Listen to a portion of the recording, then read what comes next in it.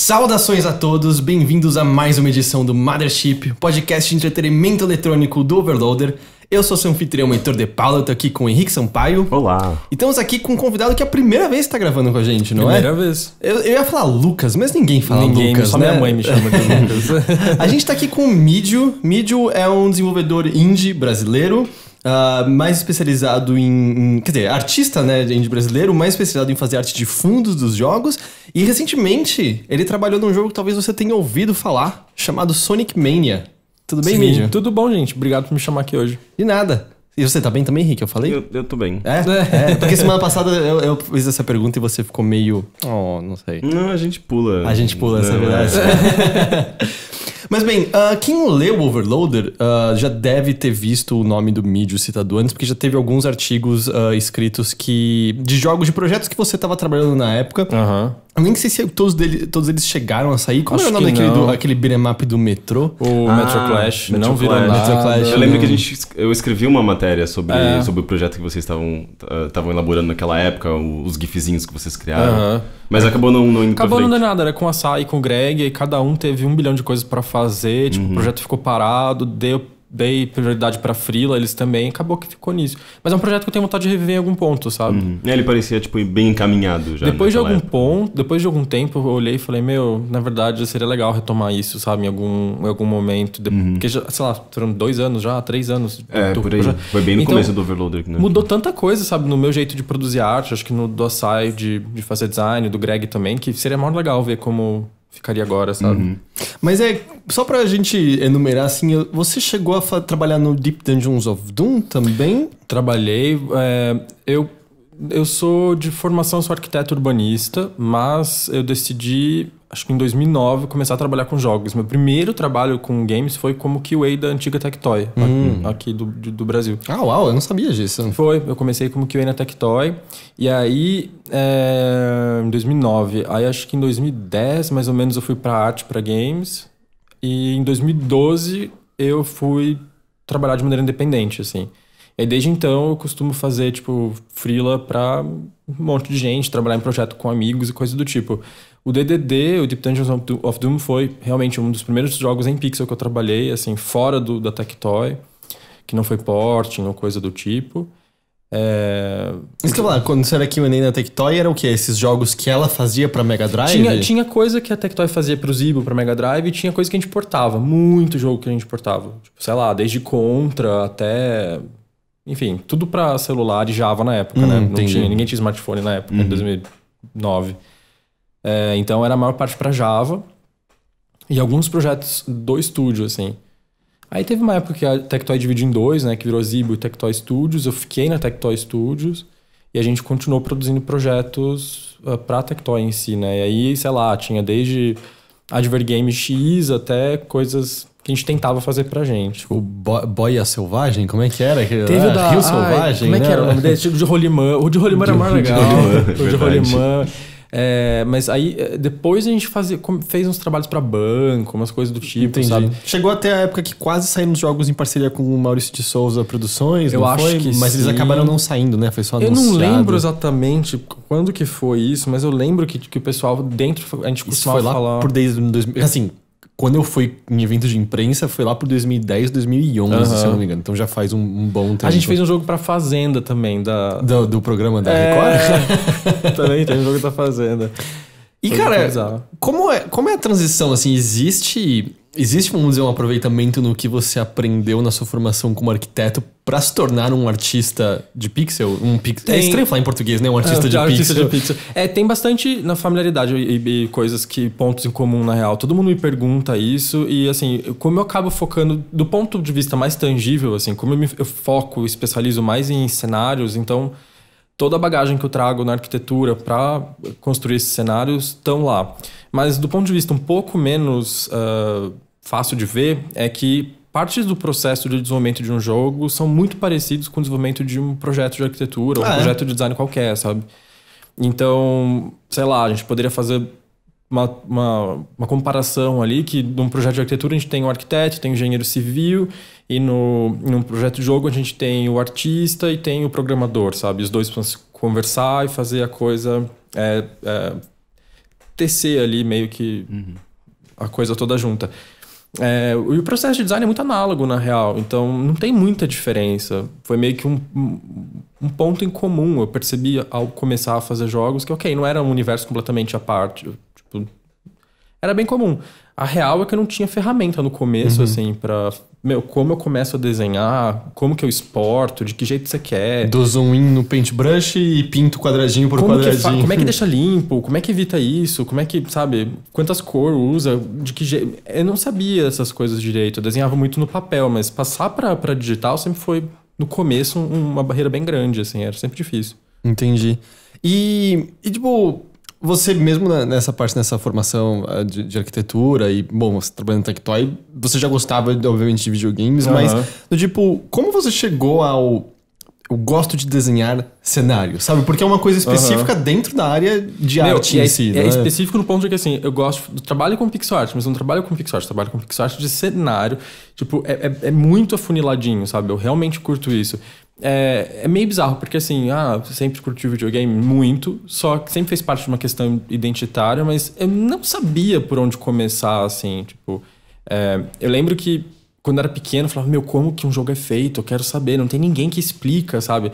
Na época, não tinha site direito que explicasse, tipo, os Geocity vagabundo da vida não conseguia dar conta de explicar como fazia, sabe? E aí, é, eu lembro que em 90 e, sei lá, 6, 7, alguma coisa do tipo, até um amigo comum nosso, do Rick e eu, o Ariel, a gente estudava junto, ele me deu um CD, acho que era do... Como é que é o nome, gente? Que virou Multimedia Fusion? É o click... Click and Play. Click and Play. Ele me sim. deu um CD do Click and Play, que era tipo pra fazer uns prototipinhos de jogos e tal. Eu falei, gente, isso é legal de brincar, sabe? Só que, meu, nunca foi pra frente, porque era tosco, o negócio era bem muito tosco. E, e eu lembro que eu comprava aqueles CDs com 500 jogos, daí ver, era tudo jogo de click and play, tudo bosta, Era tipo, os mesmos gráficos em todos os jogos, os mesmos eh, fonte de som, né, tipo, sound font, fonte de todos os jogos, era muito Era zoado. muito porco, era muito porco. E aí eu lembro que, assim, é, eu, eu sempre ficava nessa de, meu, como é que faz, como é que faz, como é que faz? Tipo, eu não sabia. E eu desencanei. Em determinado ponto, durante a faculdade, era no quinto ano, apareceu a oportunidade de trabalhar como QA na Tectoy. E aí eu falei, meu, por que não? Vamos tentar. Vou ganhar dinheiro pra trampar jogando videogame. Meu, legal, bora lá, sabe? Trabalho dos sonhos. E não foi bem assim. É, não, Não é, é. Sempre trabalho acho que as pessoas. é É, assim. de- um trabalho dos sonhos nunca existe, na não verdade, né? existe. Todo não trabalho existe. ainda é um trabalho. E assim, eu tenho muita dificuldade de seguir raciocínio linear. E os QAs precisam seguir uma certa linearidade na rotina de teste. Bom, Não, é só descanso do Tá. monitor. E pra mim é, é muito sempre foi muito complicado seguir essa linearidade de, é, do processo de teste. Então chegou um momento em que os meus chefes falaram: Meu, a gente tá pensando em você mudar você pra arte, porque você já desenha faz tempo e assim, acho que você vai ser um melhor artista do que um QA. Eu falei: Tá, mas eu não sei desenhar numa tablet, eu nunca fiz nada num computador. Ele falou: Não, você, vai, você vai aprender e, e perceber. Aí você foi pegando na prática mesmo. Fui pegando né? na prática. A primeira experiência que eu tive com pixel art foi com animação pra Java. Era, era um jogo de futebol. E, meu, é, era uma limitação muito bizarra. Era tipo, eu tinha que fazer um jogador dando bicicleta em cinco frames. E era, um era muito movimento para pouco frame. Eu não sabia. Foi, tipo, traumatizante pra mim, pixel art no começo. Porque animação é difícil pra caramba. É muito difícil. E de cara eu tive que fazer isso. Pra mim foi trauma, sabe? Não mexi com pixel art até o Deep Dungeons of Doom. Mas ao, ao mesmo tempo você já lidava um pouco com essas questões de design mesmo, porque Já. é, isso é design, sabe? É, uma- é solucionar um problema. Aham. Como que eu vou transmitir uma sensação de movimento em cinco frames? É o sabe? mesmo problema. Só que assim, por não ter técnica, não ter habilidade técnica, primeiro é muito complicado pensar na solução daquilo. Falar, meu, como que as pessoas resolvem isso? Tipo, ah, tá, tem o rolê de keyframe, mas como que é. Como, quais são os keyframes de animação pra um cara dando uma bicicleta, um chute no meio do. Eu nunca vi, eu não jogo futebol, eu não acompanho. E Até aí porque, pelo que você fala, você não encontrava facilmente um tutorial que, por exemplo, mostrava que quando, sei lá, o Mega Man tava andando, ele não tava mexendo a perninha exatamente, Não. tipo, quase. Não, era uma ilusão que a gente nem percebia, né? E, tipo, por tava- mais que existisse material e tal, é- é- é- o pessoal com que eu trabalhava, a gente trocava muita coisa, mas era sempre tão focado pro projeto que não tinha tempo de eu sentar e falar, tá, deixa eu dar uma estudada aqui em alguns exemplos, umas coisas, deixa eu abrir os Writers Resource, deixa eu... Era tão focado pra trabalho, sabe, que era, as coisas em- empilhavam, era uma coisa... É, é, é como a gente funciona em estúdio normalmente, né? que foi uma das coisas que me motivou a sair de, de trabalhar em escritório, de trabalhar por conta, porque eu dedico tempo para aprender também no tempo livre, toda a carreira, tipo, todo dia a gente aprende alguma coisa e aprende a solucionar os problemas que a gente não tem resposta agora, sabe? Uhum. Então, isso foi, foi bem legal também. E a partir daí você também começou a fazer game jams e se envolver mais Sim. com, com desenvolvimento independente, né? Ah, para mim, a- a- o divisor de águas para mim foi em 2012, assim, mesmo. Foi em janeiro de 2012, quando eu fiz minha primeira GGJ, Global Game Jam, com o pessoal da Mini Boss. E aí eu vi o que a gente produzia em 48 horas e comparei com o que eu fazia no estúdio. Falei, pera, é isso que eu quero fazer. Desse jeito eu quero trampar. Eu quero trabalhar num lugar em que eu tenha voz e que, tipo, o processo seja mais linear do que... é, desculpa, mais horizontal do que vertical, sabe? É, do que eu receba, ah, você tem que fazer X coisa. Eu tô falando mal longe do microfone, né? Desculpa. Não, eu- É tipo, ah, que você. A gente recebe o, o rolê, a gente tá completamente afastado do processo. E eu não queria isso, sabe? Você não sabe o que tá acontecendo nos outros gente lugares. não Essa é a tua sabe. sua tarefa e acabou. É, essa é a minha tarefa, ponto fim. Eu queria fazer parte do desenvolvimento do- da cadeia. Eu queria sentir que eu era parte de um time, sabe? Eu queria sentir que a minha voz era escutada e que é, minhas decisões estavam sendo levadas em conta, sabe? Então, pra mim, 2012 foi tipo um divisor de águas. Eu falei, meu, eu consegui fazer um jogo polido, redondo, legal, que muita gente gostou de jogar em 48 horas. Na verdade, menos. A gente até, acho que a gente, a gente fez um protótipo e deu bosta. Tipo, a gente perdeu 7 horas do fim de semana inteiro. Então, sei lá, 40 horas mais ou menos de, de desenvolvimento. E, e eu falei, é isso que eu quero. Eu voltei decidido para pro estúdio do tipo, não tá rolando mais. Sentei com, os, sentei com os amigos e falei, meu, vamos começar a fazer coisa no tempo livre também, porque eu acho que isso pode nutrir um pouco essa falta que a gente tem tido no, no trabalho, sabe?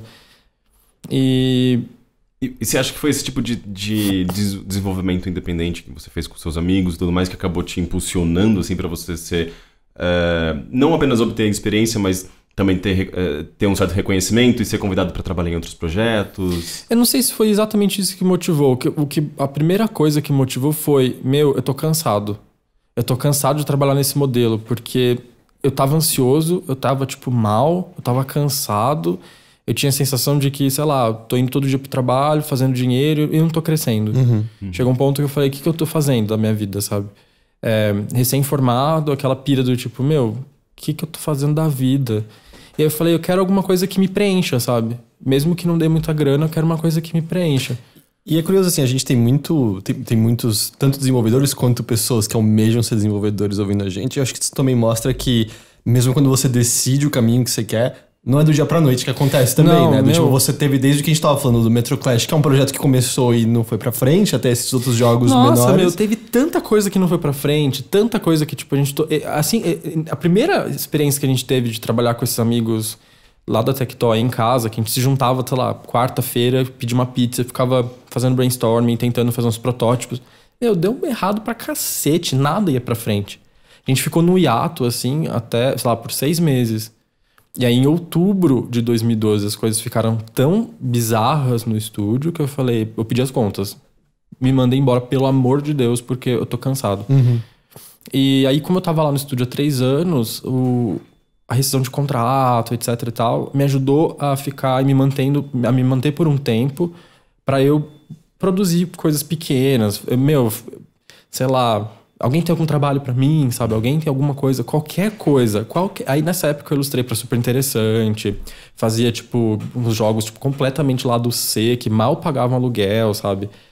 É... Você começou a criar um portfólio mesmo É. seu, né? Pra a partir daí você começar a mostrar um pouco da sua identidade, um pouco do seu trabalho, do seu talento, para as pessoas também começarem a se aproximar, né? Uhum. E foi um tempo que eu falei, tá, tem muita coisa que eu preciso aprender e melhorar, então vamos usar esse tempo esse dinheiro, esse, na verdade, vamos usar esse dinheiro para me comprar tempo, né, para eu construir um, um portfólio razoável, um, sei lá, conhecer mais pessoas que talvez possam me indicar. Então, por exemplo, muita, muito disso acontecia. O Glauber sempre falava, oh, tem um trabalho que eu não vou conseguir pegar, se quiser pegar lá, Glauber, pra quem não lá. sabe, o Kotak, que hoje em dia trabalha no Duelist. No que- Duelist. Que, também fez o Ele já Rogue trabalhou, Legacy. na verdade, né? Ele já terminou o trabalho Eu dele. não sei eu acho que também. ele continua fazendo, porque Ah, é? o jogo é atualizado Ah, com tem umas novos DLCs, personagens. né? o Ah, tempo é todo. ele tá sempre postando novos personagens no Twitter Aham, e tudo mais. Entendi. É, então, o Glauber sempre me repassava no começo, assim, e eu nunca fui do tipo. Meu, qualquer trabalho é trabalho, sabe? Então, me passa qualquer coisa, deixa eu aprender, deixa eu crescer com isso, me ensina, mostra o que tá errado para mim, faça o favor, sabe? E por conhecer outras pessoas e fazer amizade com gente que produz a mesma coisa que a gente, é, e mostrar o trabalho, a gente ganha muito feedback e isso é valiosíssimo, sabe? É, o pessoal fala, meu, ó, então, aqui também tá sujo, sabe? Você pode mudar isso, isso, aquilo, etc. Então, esse começo, o começo, assim, em 2012, foi quando eu falei, tá, vamos vamos aprender, sabe? Vamos. E parece também, eu posso estar interpretando isso errado, mas pelo menos vendo de fora, quando a gente tá falando dessa época 2011, 2012, é quando eu comecei a cada vez mais ver uh, desenvolvedores uhum. e artistas do mundo inteiro começarem a conversar em redes sociais como o Twitter e começar a cada vez ver mais contribuições de tipo jogos que são feitos por pessoas ao redor do mundo inteiro. Uhum. Pessoas que às vezes nunca se viram pessoalmente, mas ah, você postou seu portfólio de cenários uhum. em pixel art. E aí tem um desenvolvedor na, sei lá, Suécia que tá procurando alguém. E uhum. me, é meio que daí também começou a vir contatos. Eu sinto, e... eu sinto que assim, dois, 2011, 12, 13 foi um período muito bom. É, assim, especialmente no Brasil também, porque foi um período em que meio que deu uma acordada. Muita gente saiu, vamos dizer, entre várias aspas, do armário aí falar: eu curto jogos, eu quero fazer jogos. Vamos fazer junto é, muitos nomes despontando, aparecendo, e a gente falava, ô, oh, que legal, vamos, vamos se encontrar, vamos se conhecer. E, e é engraçado que nessa, nessa época, por exemplo, 2012, eu lembro que eu sentia exatamente isso, sabe? Tipo, tanto é que eu, eu tinha um projetinho lá no IG que era meio que mapear os estúdios no Brasil, e daí, tipo, fazer um, um perfil de cada equipe. Era o Arena Indie, não era? Alguma coisa assim. A gente tinha até um filtro para receber os e-mails específicos. É, é verdade. E, e, era esse exato, esse exato sentimento, sabe? Justamente por ver e acompanhar essa, essa eclosão, sabe? Tinha uma sensação de, de cenário, sei lá, meio efervescente naquela é. época, sabe? E a gente tava sempre animado em fazer coisa e projetos novos, tava todo mundo, tipo, meio eu não sei, parecia realmente o nascimento de uma cena, sabe? Isso é uma coisa que às vezes me faz pensar que eu tô meio cansado agora, tipo, de interagir, tipo, ir pra evento, coisa do tipo, mas eu sinto que em 2012 essa energia tava ali, sabe? Todo mundo queria se encontrar, se conhecer. É, foi quando começou também a surgir o Spin aqui em São Paulo, é, né? Esses, esses, esses meetups, né? Tipo, uhum. essas reuniãozinhas. Quando a gente começou a falar, pô, é, a gente não, não, o pessoal da cena começou a falar, meu, a gente precisa criar um espaço para que a gente possa trocar isso, que não seja só virtual também, sabe? Uhum. para mim sempre foi no Twitter, assim, sempre sempre, tipo, meu, então, gente, quem tem trabalho, ó, oh, fiz isso aqui hoje, dá um feedback, sei é, lá. Né, eu também sinto quando você percebe que alguma, por exemplo, arte começa a rodar. Eu lembro uma vez você fez uma. Você transformou em, tipo, 16-bit Animal Crossing, se eu não me engano. Lembro. Eu lembro que isso virou notícia no Overload. É, né? não, virou. Não, teve uma mulher que me escreveu falando que eu estava fazendo o novo Animal Crossing em PixArt. Eu, tipo, não, não, para, não quero receber processo da Nintendo. Mas aí eu lembro, tipo, de... Sabe, de repente aparece Puta, o jornalista que eu sigo, que é australiano, retweetando o negócio, tipo, como é que isso chegou em você, sabe? Tipo, uhum. aí eu sinto que esse tipo de coisa que. Eu não sei, eu imagino que você até fez de maneira meio despretensiosa. Assim, Foi, do né? tipo, falei, ok, eu, no, nos tempos que sobrava, isso é uma coisa que eu percebi, e é muito pessoal, vou conversar até falar sobre, mas eu tenho conversado com o psiquiatra a respeito do tipo, eu tava com emprego tipo, por seis meses, tipo, no Mania, outros projetos há muito tempo, e aí eu não, não sentia necessidade de fazer fanart nenhuma, de fazer nada pessoal. E aí eu falei, meu, tem alguma coisa muito errada, porque eu não tô fazendo projeto pessoal, eu não tô fazendo desenho para mim, eu não tô fazendo as coisas que eu costumava fazer, tipo do Animal Crossing, etc. Assim que acabou o contrato, assim que acabou, eu comecei a fazer um monte de fanart. Uhum. Aí eu falei, é realmente uma coisa para me manter é, em movimento, sabe? É tipo, é um movimento natural, instinto, assim, do tipo, ok, acabou, ok, eu preciso produzir alguma uhum. coisa. Não é que tá faltando, é como você já tá ocupado com outra é, coisa. No... Do tipo, ok, agora eu preciso ocupar com alguma coisa. É, agora, quando eu tenho é, projeto garantido, chega a noite, eu só quero Netflix, eu só quero, tipo, sei lá, ler um livro, dar uma volta, passear com o cachorro. Mas esse, no caso do Animal Crossing, foi bizarro, porque acho que foi o primeiro que eu falei: opa, pera, o que, que é isso? As pessoas estão gostando do meu pixel art. Era, é sujo pra cacete. Eu pego, e é de, sei lá, dois anos atrás. Eu falo, ai, que vergonha. Eu quase deletei do, do, do meus desenhos pessoal, do meu, do meu Tumblr pessoal. Só que eu falei, meu, na verdade, tem gente que gosta, sabe? Deixa lá, faz parte. E aí é legal você perceber também a evolução, é, a progressão do seu isso trabalho. Isso é super legal, né? isso é bom também. Uma dúvida leiga, completa. O que, que você quer dizer exatamente quando você diz que é sujo? Que eu dizer que é sujo é que, assim, em pixel art é muito fácil ficar uns pixels meio viúvas, meio soltos. É muito fácil você ter bending, que é quando você tem é, camadas de cor que estão é, muito próximas e você percebe exatamente quando um pixel alinha com o outro. Aí tem uma linha imaginária. Parece papo de louco, mas tem uma linha imaginária entre um pixel e outro que na verdade cria uma outra linha ali, sabe? Isso é meio sujo, é meio mostra um pixel meio mal feito, um pixel feito sem muito cuidado. Porque as pessoas realmente acham que pixel art você só cata lá o pincelzinho no Photoshop bem tosco e tá com os pixels boa. E não, é tipo mosaiquinho, é um a um, você flipa, olha com cuidado, limpa tudo. É tipo, é um trabalho super minucioso mesmo. É, no começo, meu, eu não sabia de nada disso, assim, sabe? Pra mim era tipo, bota os pixels lá e boa. É, o Deep Dungeons of Doom, meu- minhas primeiras coisas eram extremamente sujas, sabe? Entendi. Extremamente sujas. E faz parte do processo de aprendizado, sabe? Faz super parte. E como, e como que foi essa. Você saiu desse ponto pra, pra fazer parte da equipe de, de artistas do Sonic Mania? Como que foi essa. al- Alguém te abordou da equipe? Então, foi, foi, aconteceu em junho do ano passado. Uhum. Eu tava trabalhando no Pathway, que ainda tô trabalhando nele. É, então, julho de 2016. E aí, isso foi muito engraçado. Eu tava conversando com meu namorado uma, tipo, uma, numa semana de julho. Ele falou: Ah, você viu esse jogo do Sonic Mania? O pessoal tá faz- da SEGA tá fazendo um Sonic 2D de novo. Eu falei: Ah, que da hora. Só que, sei lá, eu tava tão sem tempo e tão maluco que eu nem fui atrás pra ver, tipo, quem tava fazendo, etc, etc. Mas que legal, tal, bacana e tal. Na época eu tava super, meu, vou largar jogos, vou, sei lá, fazer bolo, vou fazer pão. Você estava muito estressado assim de trabalho ou não? Eu tava meio desencantado, na Ah, é? verdade. É, porque esse é um, um- um movimento bastante cíclico da gente, assim, tipo, agora, agora tô num processo, tipo, quero abrir uma loja de plantas. é sério, assim, tipo, quero abrir uma loja de plantas, tipo, random, Mas você põe muitas fotos, você tem muitas plantas na Meu, sua tem sala. muitas né? plantas, tem muitas plantas.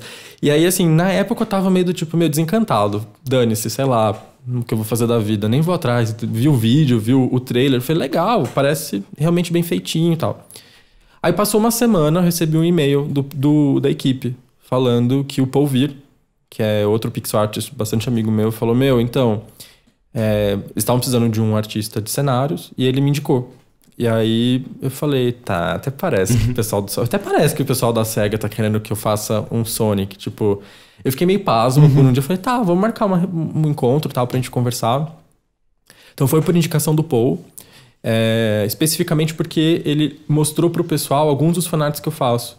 Do pessoal mesmo, né? Aquelas coisas que eu falei de tempo livre e tal. E o pessoal gostou bastante. Falou, Seguri talvez tenha potencial pra estar na equipe.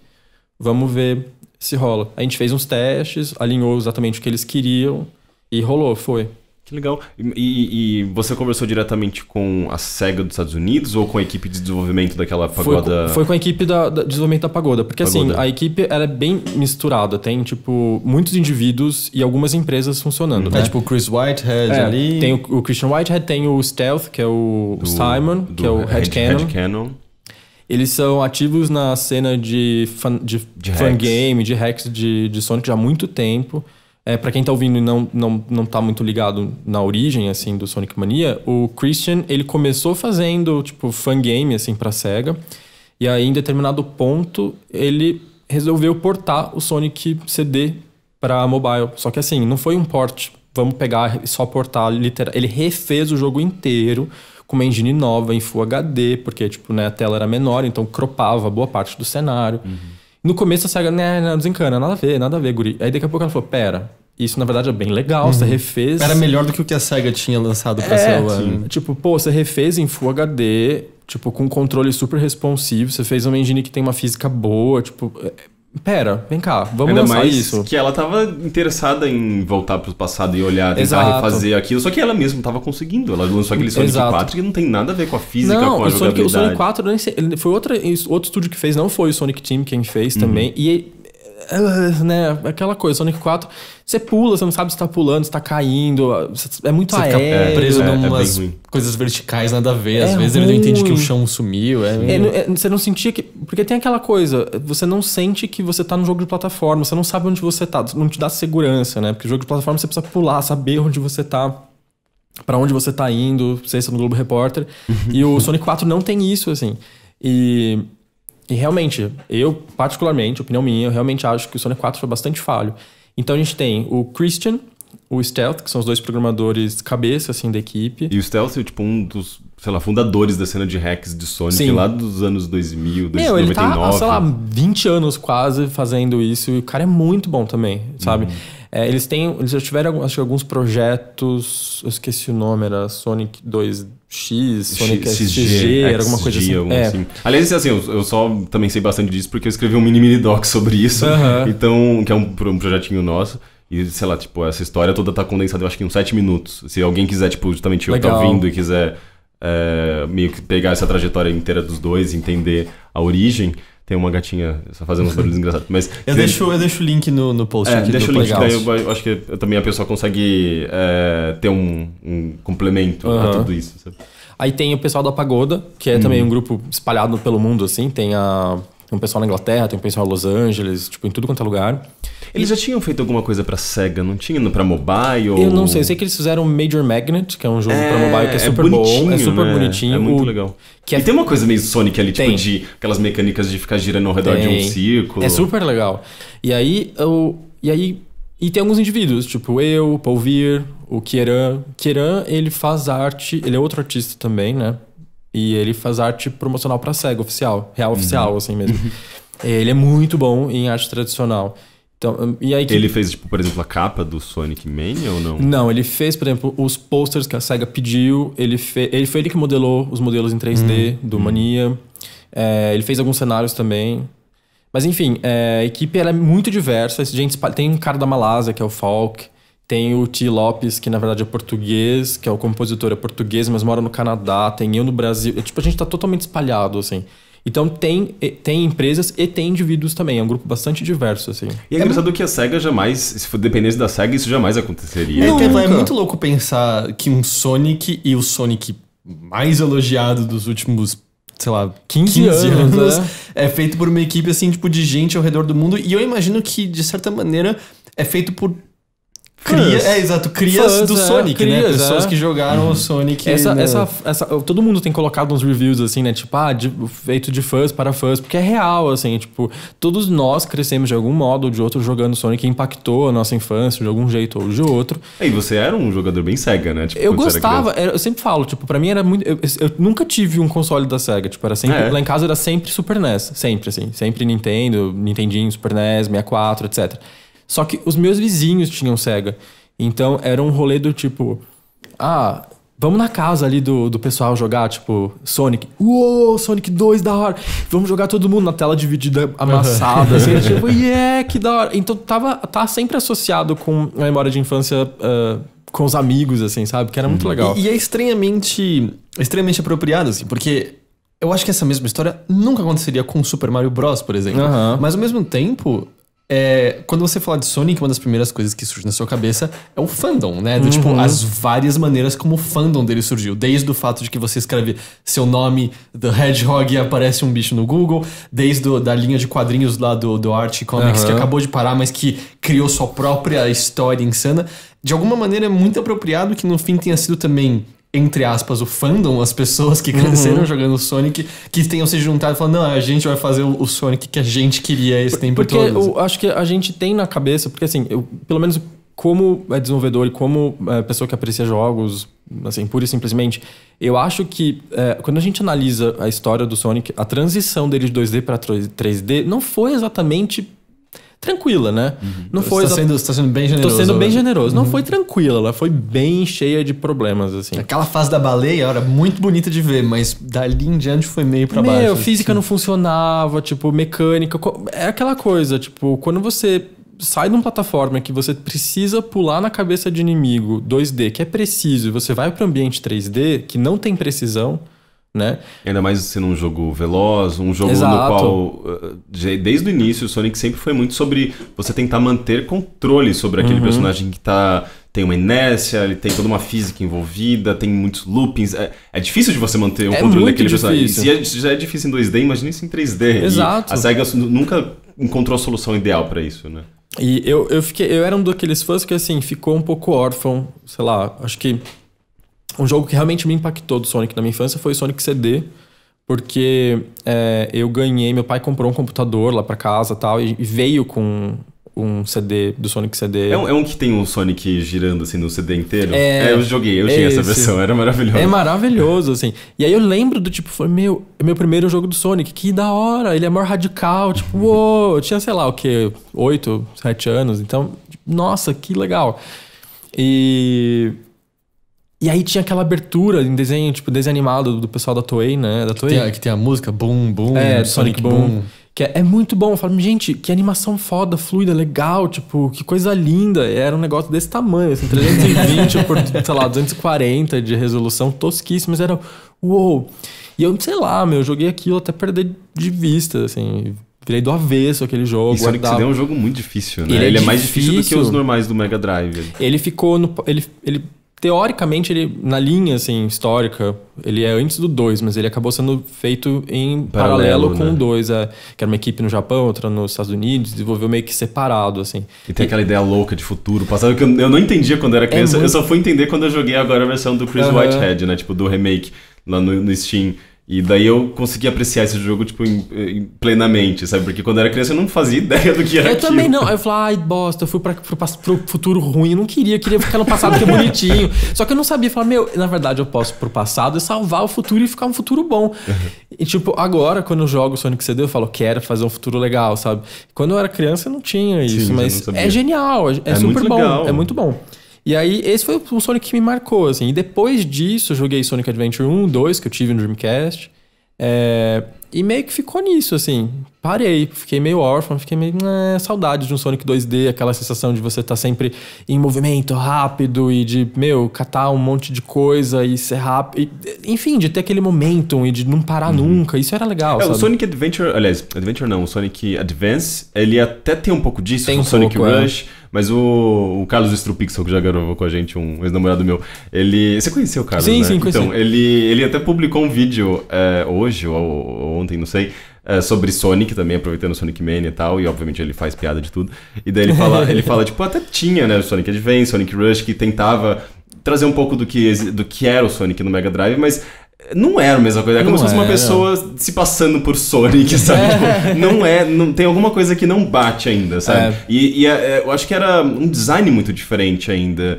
É, simplesmente não era a mesma experiência. Eu e eu acho que é, meio que essa experiência clássica de Sonic morreu no Sonic Knuckles, basicamente. Sim. O Sonic 4 não retomou, o, esses Sonics 2D eram diferentes, então o Sonic Mania que eu acho que justamente Sim. conseguiu resgatar tudo isso que, o era que, tão o que eu interessante. sinto que uma coisa que pra mim sempre foi muito claro de Sonic é, é, além de eu poder ser rápido, eu sinto seguro em fazer pulos e correr muito rápido porque eu sei onde eu estou, eu sei onde eu vou pular. É, é tudo muito claro, assim, é, é bastante simples. É, e ele é preciso, sabe? E os outros jogos não são precisos. O 3D não são, os 3D não são. Alguns 2D não Alguns são. 2D não são, fica aquela, aquele personagem que você não sabe se pisou no chão, não tá. E você associar, é, ainda mais quando você tem alta velocidade não ter precisão, é... É muito complicado. Mas aproveitando que a gente mencionou Sonic CD e tal, eu, eu notei que tem umas duas ou três fases de Sonic CD na- no Sonic Mania. Aham. Eh, e é um jogo que você jogou bastante. Eu acho que talvez tenha sido o Sonic que você teve mais contato né, no- na infância. Como que, como que foi exatamente esse trabalho seu eh, no Sonic Mania, considerando que muitas das fases já são. já existiram, já, Uhum. já existiam no passado? Como vocês meio que retomavam essas fases e, e complementavam com coisas Então, novas? a decisão meio que geral pro, pro, pro Sonic Mania foi assim: é, vem, tem fases que vêm de todos os Sonics. E normalmente a primeira fase ela é bem parecida com o que costumava ser. Então a gente pega Chemical Plant Zone do Sonic 2, o primeiro ato é quase muda, né? Tem, Ele é mais vertical, tem segredos, tem tipo lugares que você pode acessar que você não podia acessar antes. Tem um caminho que é só do Knuckles, porque agora tem o Knuckles e não tinha no Sonic 2. Coisas do tipo. É, já o ato 2, normalmente ele é tipo, meu, outras mecânicas, outros gimmicks, outras coisinhas novas. E aí, assim, é, a gente normalmente. Eu e o Kieran, a gente cuidou dos- das fases antigas, dos, dos cenários, das zonas antigas do Sonic. E o Tom Fry, que é o nosso diretor de arte. Bom, vamos dividir assim, vamos lá. Os artistas nós éramos quatro. O Tom, nós somos, né? O Tom, que é o diretor de arte. Aí tem o Paul, que é responsável pelas animações dos personagens. Ele fez o Knuckles e o Tails. Animações maravilhosas. São maravilhosas, inclusive. socorro. Aí eu e o Kieran, a gente ficou com cenários antigos. E o Tom, ele pegou, que é o diretor, ele ficou com cenários novos. Ele ficou com as fases todas novas. É, para as fases antigas, a gente normalmente sentava, tipo, ó, vamos começar então, é, a gente tem que fazer, sei lá, Stardust Speedway. Como vai ser? Ah, o ato 1 vai ser o, o- o passado no Sonic CD. Ok, mas a gente vai incluir os elementos novos. Vai ter não sei o que do Marble Zone do Sonic 3. Vai ter um gimmick novo de plantas que não sei o que. Vai ter outro gimmick. Então, aí eu Então pode começar a fazer. Beleza. Aí o que eu fazia? Eu sentava lá na, bibli- na, bibli- na minha bibliotequinha do Steam, abria os jogos antigos, jogava, tipo, até cansar pra sacar como aquilo funcionava no flow do jogo, não só visualmente, né? Eu precisava entender como aquilo funcionava é, com o Sonic correndo, com o Sonic pulando e, e ver quais eram os objetos que eles queriam que a gente adicionasse nesse ato 2 ou no ato 1 ou coisa do tipo. É, então teve realmente eu tive que ir atrás de todo, todo toda a arte antiga, tipo estática mesmo, sprite as resource, pedir pro pessoal da Sega, a gente recebia tudo isso já prontinho, do tipo, ó, essa era a arte original. E aí a- o que a gente fazia era, vamos aumentar a quantidade de cor, vamos limpar essa arte, vamos deixá-la mais bonita, sabe? É, é, vamos trabalhar em cima dela para ela ficar redondinha, polida e tal. Porque se a gente pega algumas coisas do Sonic CD, por exemplo, já que a gente tá falando dele, né? Tem muita coisa bem suja, assim, porque, meu, TV de tubo, dá pra engambelar, sabe? Tem umas coisas assim. Agora com Full HD, não, tem que estar limpinho, tem que estar super bem arrumado, sabe?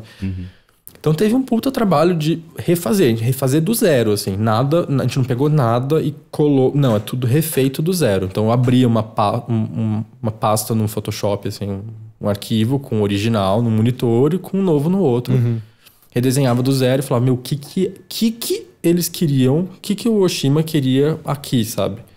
Ah, tá, é uma fruta, não parece uma fruta, então vamos fazer uma fruta direito, sabe? Tem todo um trabalho de reinterpretar aqueles É. jogos originais. E, por exemplo, Start da Speedway no, no ato 2, o fundo é uma cidade meio caótica, cheia de luz e tal. Eu falei, tá. E aí tem alguns elementos ali que são um pouco maiores, menores. Eu falei, gente, eu vou tomar a liberdade de refazer um pouquinho, sabe? O risco que a gente corria em fazer isso era parecer um fangame, sabe? De fazer, ficar, ah, adicionando uma coisa aqui, outra colar, de parecer meio tosco.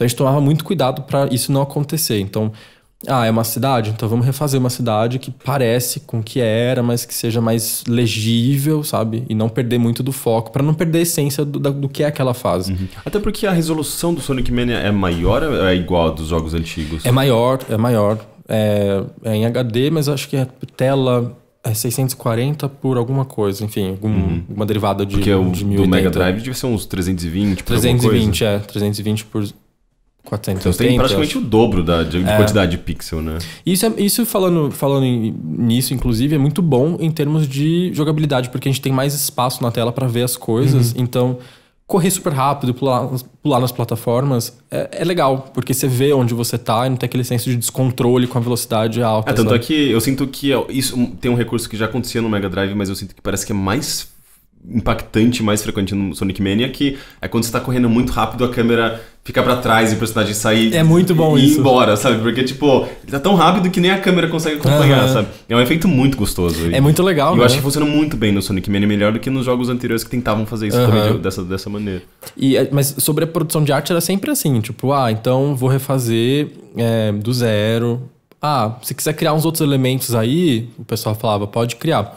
É, chegou num ponto no, no desenvolvimento em que o pessoal. É porque isso foi uma coisa muito legal. No começo, eu falei que teve aquele primeiro teste que eu fiz tal. E. E como é o primeiro contato com a equipe, eu fico, ai, mas será que é o que eles querem? Será que não é? E eu fiz um pouco demais. Eu limpei, deixei, tipo, muito redondinho. Não era exatamente o que eles queriam. Eles queriam bem... é, com uma cara de jogo de Saturno mesmo. E eu falei, tá, então vamos dar uma reduzida nisso. Eles falaram, isso, tá aí, tá legal, tá da hora. Ah, eles falaram mais ou menos a direção que eles É, queriam. O Tom sentou comigo, ele falou: "Fa- faz uns tiles aqui pra gente ver como fica. Tenta fazer um cenáriozinho aqui bem rápido, só pra gente ver se a gente adequa o seu estilo de arte com o que a gente quer da, da equipe. Aí a gente foi arrumando até acertar lá. Isso, no, no- isso primeira, a primeira fase foi um pouco difícil pra mim, pra até eu entender o que exatamente eles queriam. Depois disso, tipo, a coisa deslanchou num ponto em que eu tive que refazer cenários que já estavam feitos da galera. Porque ele falou, você levou o padrão, assim, do Mania Entendi. a um ponto que a gente vai precisar refazer alguns pra ficar bom igual, sabe? Isso foi Ai, super legal. Que chato, né? Não, não, isso, na verdade, isso foi muito, foi muito Não, legal sim, do claro. tipo, poxa... É uma sabe? validação do seu trabalho. É uma né? validação do meu trabalho, do tipo, poxa, é, tem uma sensação de confiança. Eles nem. é, O, o Tom sentava pra dar brief antes, do tipo, senta, a gente vai fazer isso, isso. Chegou um ponto que ele falou: não, faz a tua coisa lá, sabe? Faz Porque o teu negócio. você até falou um pouco disso antes, mas eh, independente, vamos dizer, dos altos e baixos, muito Aham. baixos que Sonic teve, tem uma coisa meio. Mano, eu tô fazendo um novo Sonic, tá ligado? Teve, Tipo, meu, e a gente pode eu surtar na batatinha de fazer coisa a mais, que não precisa. tô sabe? trabalhando num dos maiores ícones dos videogames, sabe? Aham. Tipo, e é um- eu, eu não sei, eu, eu sinto que é um negócio muito. Há 20 anos a gente nunca imaginaria, não, uma pessoa que tá, sabe, aqui no Brasil trabalharia num Sonic daqui a 20 anos. Não, meu, não era uma assim. coisa que passava na cabeça. Não era uma coisa que passava. Nunca passou na minha cabeça, sabe? Era do tipo, sempre fiz projeto independente, tipo, estudos menores. Nunca. Eu falei, imagina que eu vou fazer um jogo pra SEGA que vai ser lançado, tipo, Switch, Xbox, PS1, e vai ser visto por ídolos da minha infância, assim. Tipo, o pessoal da Nintendo provavelmente deve ter jogado em algum ponto. A gente viu tweet de gente famosa, ator, falando, ah, eu tô adorando Sonic. Eu falei, meu, tem gente, tem muita gente vendo o meu trabalho, sabe, de algum lado. Então, assim, quando a gente tá trabalhando, gente fala, meu, eu tô fazendo um jogo de Sonic, a gente. Quando a gente tá trabalhando com uma franquia muito querida, existe dois riscos, né? Que é o de overdo, assim, de fazer muita coisa, fazer coisa a mais, e aquilo ficar meio capenga, Distante, né? distante do que realmente era. Então, eu tinha que. Isso era uma coisa que eu, eu aprendi nesse projeto, dar uma freada e falar, tá, é aqui que. É nesse ponto que tem que ficar, sabe? E, e acho que eu entendi isso é, logo depois da primeira fase, que foi o Oil Ocean Zone, do Sonic 2. E aí a coisa começou a deslanchar. Pra mim, não- eu- as pessoas perguntam, foi desafiante? Foi, foi muito tranquilo. O problema maior foi fazer tudo no prazo que a gente realmente precisava. Mas de resto foi tranquilo, porque tem conexão com o negócio, sabe? Com o que a gente está produzindo. Rolou sensação de confiança da equipe. Todo mundo confiava no trabalho um do outro, sabe? Ninguém apontava o dedo e falava, é, não sei, tá marromeno. Não, ou pega lá e faz o teu negócio, sabe? Todo mundo meio que entendeu como cada um trabalhava e tinha um, um flow muito bom, assim, sabe? Então, Que é justamente o que você buscava desde que você participou Exato. da Game Jam, né? Exato, foi onde eu me encontrei. assim, Eu falei, meu, é desse jeito que eu quero trabalhar. As pessoas confiam no meu trabalho, que não vão julgar por, sei lá, um pixel errado aqui, outro acolá, e que se tiver errado, tiver no jeito que não tiver, eles vão sentar e vão falar comigo. Eu, eu senti que, tipo, todo o desenvolvimento foi super honesto, sabe? É, de todos os lados. Então, se eu olhava alguma coisa que eu não curtia, eu falava, ah, então, ó, não sei, essa fase tá precisando de um pouco mais de amor aí, gente. Tá esquisito, né? Tá, a gente vai voltar pra ela depois então. Então, é, tinha muito diálogo, tinha muita conversa pra, pra gente entender. é, porque, por exemplo, muitas pessoas que estavam. O Tom e o. que é o nosso diretor, esse foi o primeiro projeto em PixArt dele. Primeiro. Então ele também estava aprendendo muito com a gente, sabe? Então, esse tipo de... E ele é um animador profissional. Ele, tipo, se formou com, em animação, trabalha com animação há anos já. Meu, o que eu aprendi de animação com ele, o que ele aprendeu de pixel art comigo, foi, tipo, valiosíssimo, sabe? Porque... E, e é, e é muito louco, né? Porque a gente vê, tipo, por exemplo, ah, ok, ele é um puta animador, mas a gente olha aquilo e fala, caramba, esse cara trabalha com pixel art há anos. Ou talvez ele. Aham. eh, Talvez também o fato dele ter essa, essa base de animação tradicional e, e já pegar a pixel art faz com que a pixel art dele tenha muito mais, uma carga muito mais da- dessa animação tradicional do Aham. que de quem já apren- aprendeu a fazer animação na pixel art. Exato, Né? exato. Então tem, essa, tem muito isso, isso é muito legal de ver. Por exemplo, você pega o Studiopolis, que tem a animação do Eggman fazendo tipo as mãozinhas, tem muita referência à animação tradicional, Uhum. até no movimento dos personagens e tal. Tem muito stretch, muita coisa de, de amassar, sabe? Sim. É Esse das muito você tá molinho. falando é uma animação até preto e branco, parece, Isso. parece Walt Disney antigo. Parece assim, Disney né? antigo, sabe? Tem muita coisa de animação tradicional. Então, é, meu, o que eu aprendi com ele, o que a gente trocou, sabe, de experiência e tal, foi incrível. É, durante o processo todo, assim, especialmente no grupo da arte, eu senti que a gente formou uma família. Tipo, família mesmo. É, E a comunicação entre vocês era basicamente Slack, Slack. eh, sei lá, Skype. a gente ou- tinha Slack, na, a, gente fica- a gente tem até hoje. A gente, todo dia a gente entra pra se conversar e bater papo, saber como estão as coisas. É, eu imagino que no momento também tá rolando comemorações, né? Tá, No- tem um canalzinho lá do review que a gente fica lá, ah lá, tá o review, olha lá, que da hora, não sei o quê. Tem um canalzinho random que tipo, a gente fica falando besteira o dia inteiro. E, E tem o- os, os sérios, assim. O, o Christian Whitehead e o Stealth também participam? Também, vocês conversam também. diretamente com ele? Todo mundo direto, assim. A, a gente não teve muito contato direto com o pessoal da SEGA. Isso a gente não teve muito, assim. A gente teve a Lola, que é a nossa producer. Ela é da SEGA, ela é da, da- do Sonic Team. E, e ela meio que gerava a porra toda, assim, sabe? Gerenciava a porra toda. E a gente tinha o Hunter, que, é, o- que ele era programador. Ele era responsável por cuidar dos... Adoro o nome dele, Hunter. É o nome dele mesmo? Chama Hunter. É o primeiro nome dele? Primeiro. Porque Hunter é o Hunter, sobrenome. Hunter né? Bridges. Acho muito legal. é muito legal o nome dele. Adoro o Hunter. Essa cidade aqui não tem mais pontes, é meu avô. E ele é muito legal. O Hunter, o Hunter é uma das pessoas. Ele é muito engraçado.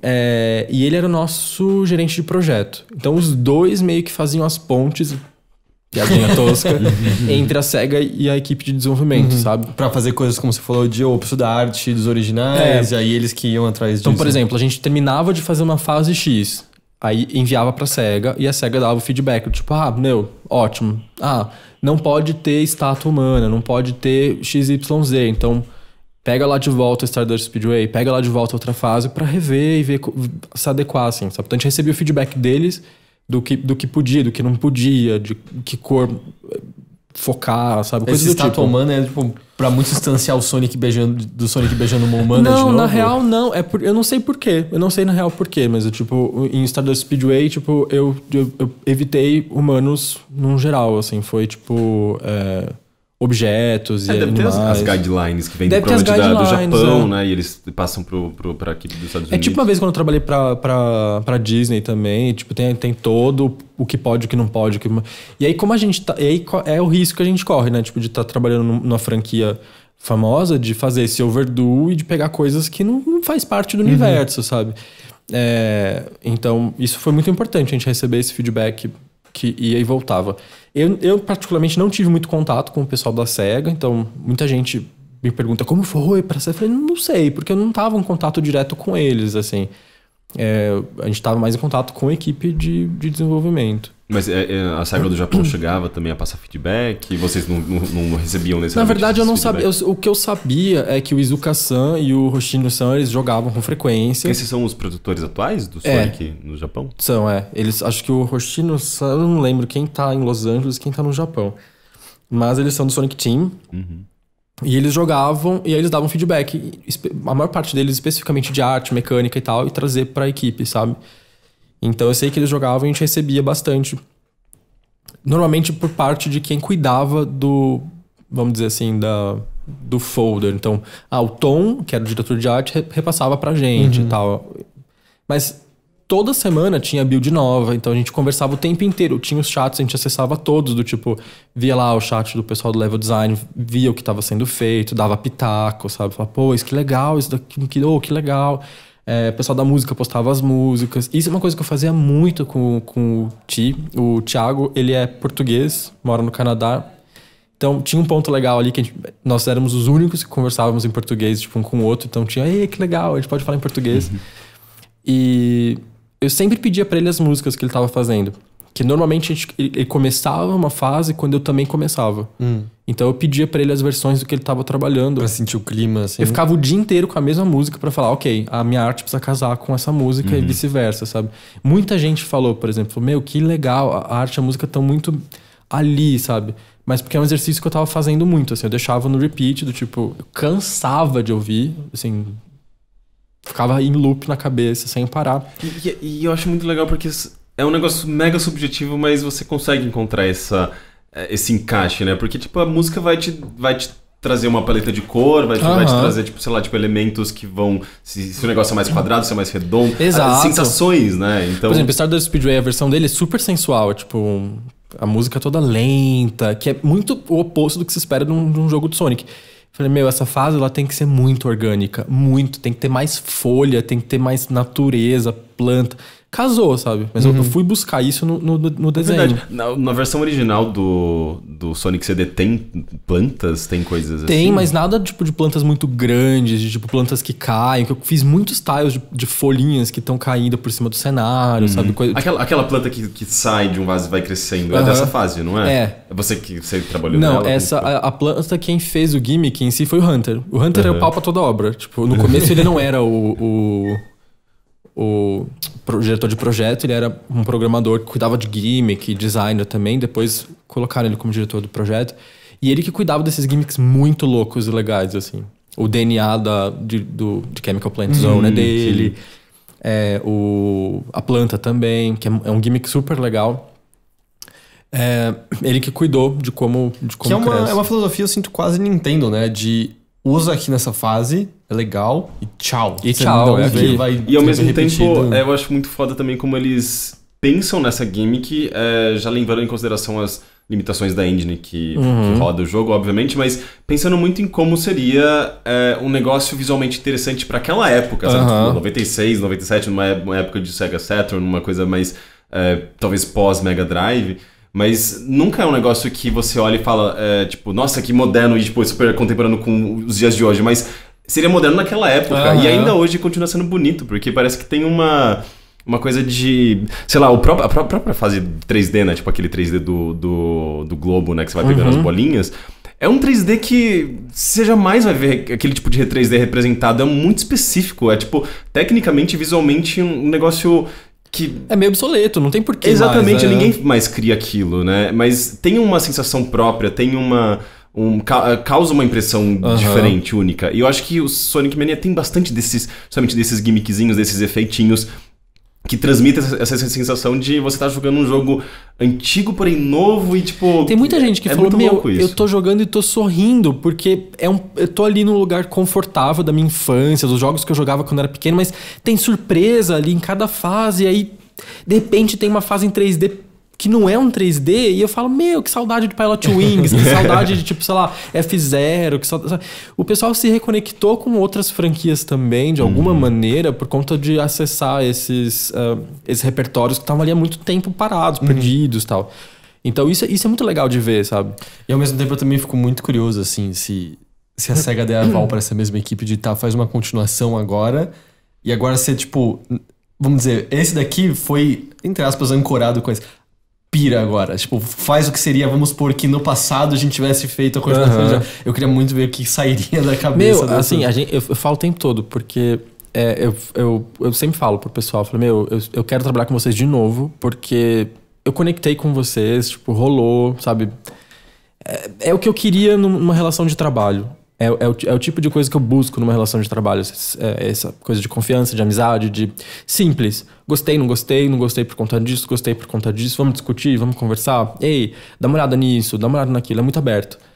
É, é uma coisa que eu realmente busco em, em relação de trabalho. E eu falo, meu, eu quero de novo. Eu quero uma sequência. Eu quero. Eu não sei se a SEGA vai querer. Eu não sei se ah, os outros membros da equipe exatamente querem. Mas eu sei que foi uma, uma experiência muito importante pra todo mundo. E eu fico pensando, o que vem em seguida, sabe? Eu vou chutar que comercialmente faz sentido dar a luz Aham. verde pra uma continuação, pela recepção inicial que a gente tá vendo. A recepção está sendo muito... É, eu imagino que a- a- faria sentido a SEGA dizer, não, é, ok, pode fazer mais um. Me recep- parece a melhor recepção de Sonic desde, sei lá, Sonic, Sonic 3, Knuckles, é. Sonic CD. É. Não, Sonic CD é muito mais antigo. Mas, é, desde faz Sonic muito, Knuckles. muito tempo. E porque. tem, tem muita gente que, é- que era Sonic, que eu tava falando um pouco antes, né? Que era Sonic de foi agora tá saindo do armário. Tipo, meu, eu, eu sempre gostei, mas agora finalmente eu posso dizer que eu realmente gosto, porque tem um jogo legal. Se bem que o Sonic Adventure eu acho que ele foi bastante aclamado na Foi época. também, é. E ele foi importante na época, na verdade. Sim. Mas é, com o tempo as pessoas começaram a perceber, tipo, as, as, É, ele, a- ele era muito as rachaduras dele. O né? espetáculo, tanto que a gente lembra muito da primeira fase com a cena da baleia quebrando É. o pier, porque era realmente impressionante, né? É, e visualmente impressionante, né? Mas é, tem mu muitos dos jogos do Sonic da, da era 3D envelheceram muito mal, né? Tipo, mecanicamente não funcionam do jeito que você gostaria que funcionassem.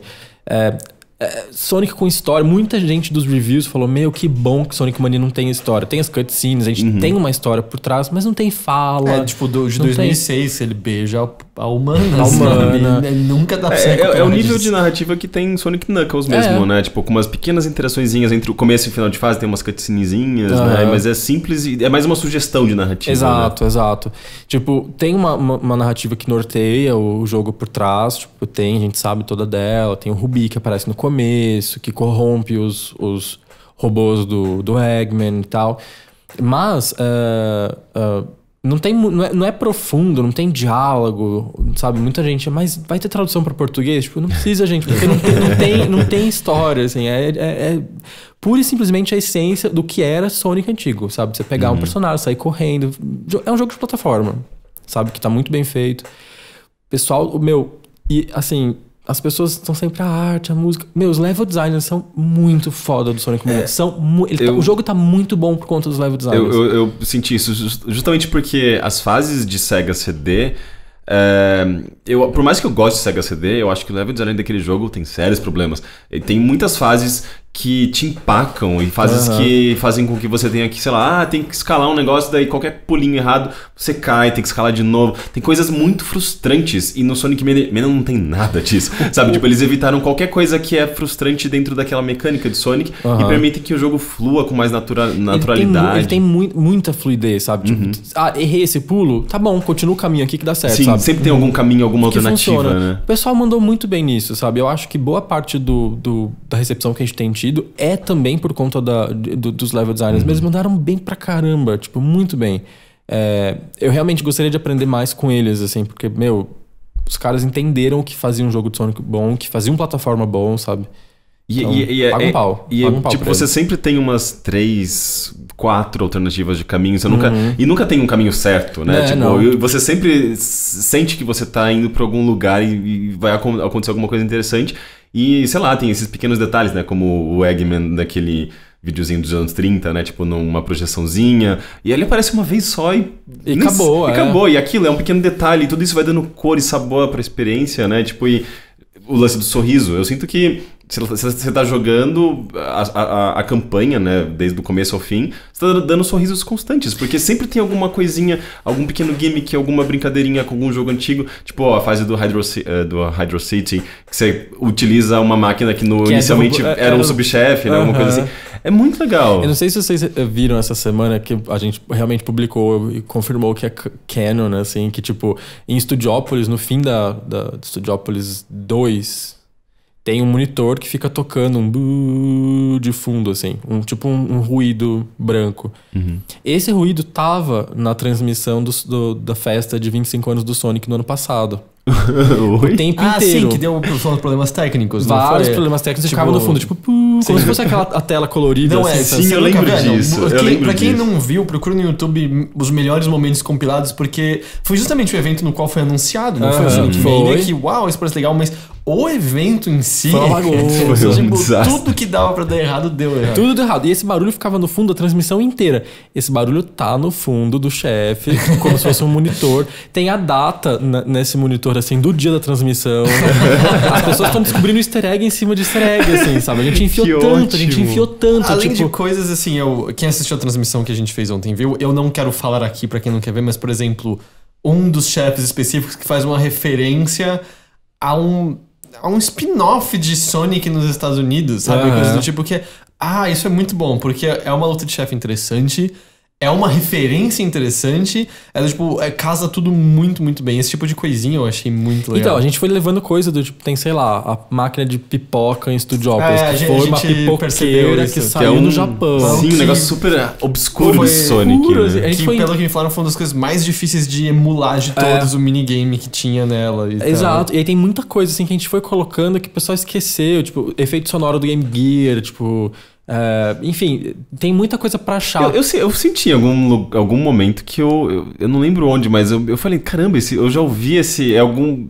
Efeito sonoro de Sonic normal Aham. do Game Gear, que era um pouquinho diferente do, do Mega Drive do Master System, mas era muito peculiar, e eu acho que eu ouvi isso. Tá, mas tá lá no jogo, Que tem é vários, louco. assim. A gente foi. Isso que, que o pessoal falou, meu, ah, tem muita gente que me, me escreveu e falou, eu não tô jogando inteiro, tipo, matando de uma vez, porque eu tô jogando fase por fase e tentando caçar as pequenas coisinhas que vocês deixaram do passado do Sonic, assim, sabe? Então, ah, ah, meu, é, sei lá, Stardust Speedway, que legal, é Stardust, mas tem coisa do Marble Zone. Tipo, uou, deixa eu jogar essa fase. Nossa, tem coisa de Sandópolis, tem coisa de, daquela outra fase que eu gostava, sabe? Então, realmente, o que eu. o- parece que é muito super utilizada a expressão, mas eu realmente acho que é uma cartinha de amor mesmo pra, pra fãs, e não tão fãs assim, sabe? Então eu posso talvez encontrar o Sonic beijando uma humana em algum lugar. Não sei, isso eu acho que não, isso eu acho que não vai ter. Mas é um tratamento bem de remix mesmo, É. né? Que eu, eu, particularmente, eu acho que é super inovador. E por mais que a gente já tenha visto alguns jogos que justamente é, retomam coisas antigas, é, buscam referências na. Sabe, de séries que buscam refer- referências no passado, mas dessa maneira, é meio que brincando. Você olha e fala, tipo, ah, isso é reciclado. Não, mas peraí, tem coisas novas Uhum. aqui. Daí, tipo, você vê que tem toda uma nova roupagem e é uma releitura de tudo aquilo que foi feito, mas ainda mantendo a fidelidade. É um trabalho muito específico e muito diferente do que a gente vê normalmente, sabe? Em remasters ou remakes. Não é nada disso, assim, é um negócio muito próprio, sabe? Muita gente pergunta assim, é remake? É. é... O que, que é? Tipo, a gente não sabe. Mas eu acho que remix é uma boa, é né? uma boa, porque assim, tem aqueles elementos lá que, a gente, que são familiares, que a gente conhece e tal, que estão próximos, mas tem mecânicas novas, tem, tem, tem, um tem música nova, tem eh, personagens que nunca jogaram naquela fase. Tipo, o Knuckles, Power-ups que não estavam power-ups que não então. estavam. Tipo, a gente fala, meu, é, é, tem novo ali, sabe? Tem Uhum. um elemento antigo, mas tem o novo. Num- Numa dosagem boa, eu acho. E eu acho, antes da, antes da gravação, a gente tava comentando que no chat de ontem, quando a gente tava transmitindo, a gente viu essa reação e você fez uma transmissão com os jogos. Você que você viu de pessoas de. Ah, mas vocês estão jogando o velho de novo? Muita e tal?" gente não sacou. E eu, eu sinto que é uma. É, é meio similar, por exemplo, a- o, o remaster do Day of the Tentacle. Eu lembro que eu tava jogando no- no- na versão nova e eu apertei o botão pra voltar pra versão antiga. E tomei aquele susto de, uou, eu não lembrava na minha cabeça que era assim, porque era quase como se a versão nova fosse como a minha memória do original fosse. E eu sinto que tem a mesma coisa acontecendo, do tipo, tem. A, a memória das pessoas tá preenchendo as lacunas de, oh, a animação não era tão detalhada assim no original, não tinha tantas cores assim no original, a sua memória vai preenchendo isso, e elas vêm, é quase como se esse fosse como a nossa memória fosse do, do, do original, de certa É, maneira. é, é como se a gente estivesse explorando a memória afetiva e não a memória literal daquele jogo, sabe? Era do tipo, puta, eu realmente era apaixonado pela câmera que deixava o personagem, que ficava pra trás do personagem, sabe? E eu gostava daquilo, aquilo. Essas coisas voltam, mas com alguma coisinha ali que parece meio off, assim, sabe? É, num bom sentido, que não estavam ali, mas que, puta, que adição legal, sabe? Então é muito isso. Acho que a gente tentou buscar onde a memória afetiva tava e não a memória literal, assim. Nas- foi o que eu falei, nas primeiras fases é tudo muito parecido, assim. Você vai jogar Green Hill, primeira fase, tipo, você fala, meu, é meio como, como era. Chemical Plant, meu, é como era no Sonic 2. Aí você vai na segunda fase e fala, meu, não é nada como era, tipo, que legal. E aí eu acho que cria esse, esse elemento que, é, que eu acho bastante interessante, que é de criar uma espécie de ritmo de você, ok, agora eu tô numa fase que eu conheço, que legal, mas o que vem em seguida? Uou! Ok, agora é uma que eu conheço. Mas o que vem em seguida? Uou! Essa outra mecânica, sabe? Então, é, eu acho que é um jeito de criar um ciclo pra que as pessoas tão- estejam descobrindo, redescobrindo a franquia, sabe? Que eu acho muito legal. É, e pra mim que eu, sei lá, eu, sempre, eu cresci jogando Sonic, eu lembro de cabeça todas as fases praticamente dos jogos originais. É, sempre quando eu, eu chego numa fase nova, eu falo, ah, essa fase tá aqui, sabe? Tipo, vi aquele ânimo. Só que daí, tipo, eu começo a lembrar, ai, mas eu não gostava muito dessa fase. Só, que depois eu começo, tipo, perceber as coisinhas novas e fico, ah, ela, tá, ela, tipo, ela foi reinventada, tipo, volta aquele ânimo. Então, tipo, tá sendo uma experiência muito diferente com, sei lá, de, de outros jogos que eu tive recentemente, sabe? Tipo, eu tô achando muito legal. E, e uma legal. coisa que eu queria perguntar, que você falou que tem, tem um, um truque. Tipo, as fases, as fases bônus. é, ah, inclusive, ela, ela foi refeita, a fase bônus do, do que foi retirado, re- tipo, inspira- inspirada no Sonic 3. Ela foi Aham. refeita ou tem, Foi. tipo, totalmente refeita? É, assim, as- os padrões das bolas, etc, tipo, todo novo. Tem, e, assim, tem várias... O que eu tenho sentido delas é que cada uma tem um fluxo diferente, assim, sabe? E aí, é, é meio que como jogar um WarioWare, assim, sabe? Tem que jogar todas elas um monte até você sacar e falar, ah, tá, é isso que eu tenho que fazer nesse Começar tempo. a se sentir confortável em jogá-las, porque elas são meio difíceis. Elas são E difíceis. você viu que dava pra ganhar é, medalhinhas de ouro, né? Também Tem que pegar as argolas, né? Eu fui descobrir Meu, isso eu sou depois. péssimo nas bolotas. É eu muito sou difícil. horrível nas bolotas. Mas aquilo é, é- eu percebi que o som ajuda muito. É. Porque quando você, você tá fazendo um, um- circulando, tipo, um quad- um quadrado de, sei lá, cinco bolinhas em cada lado.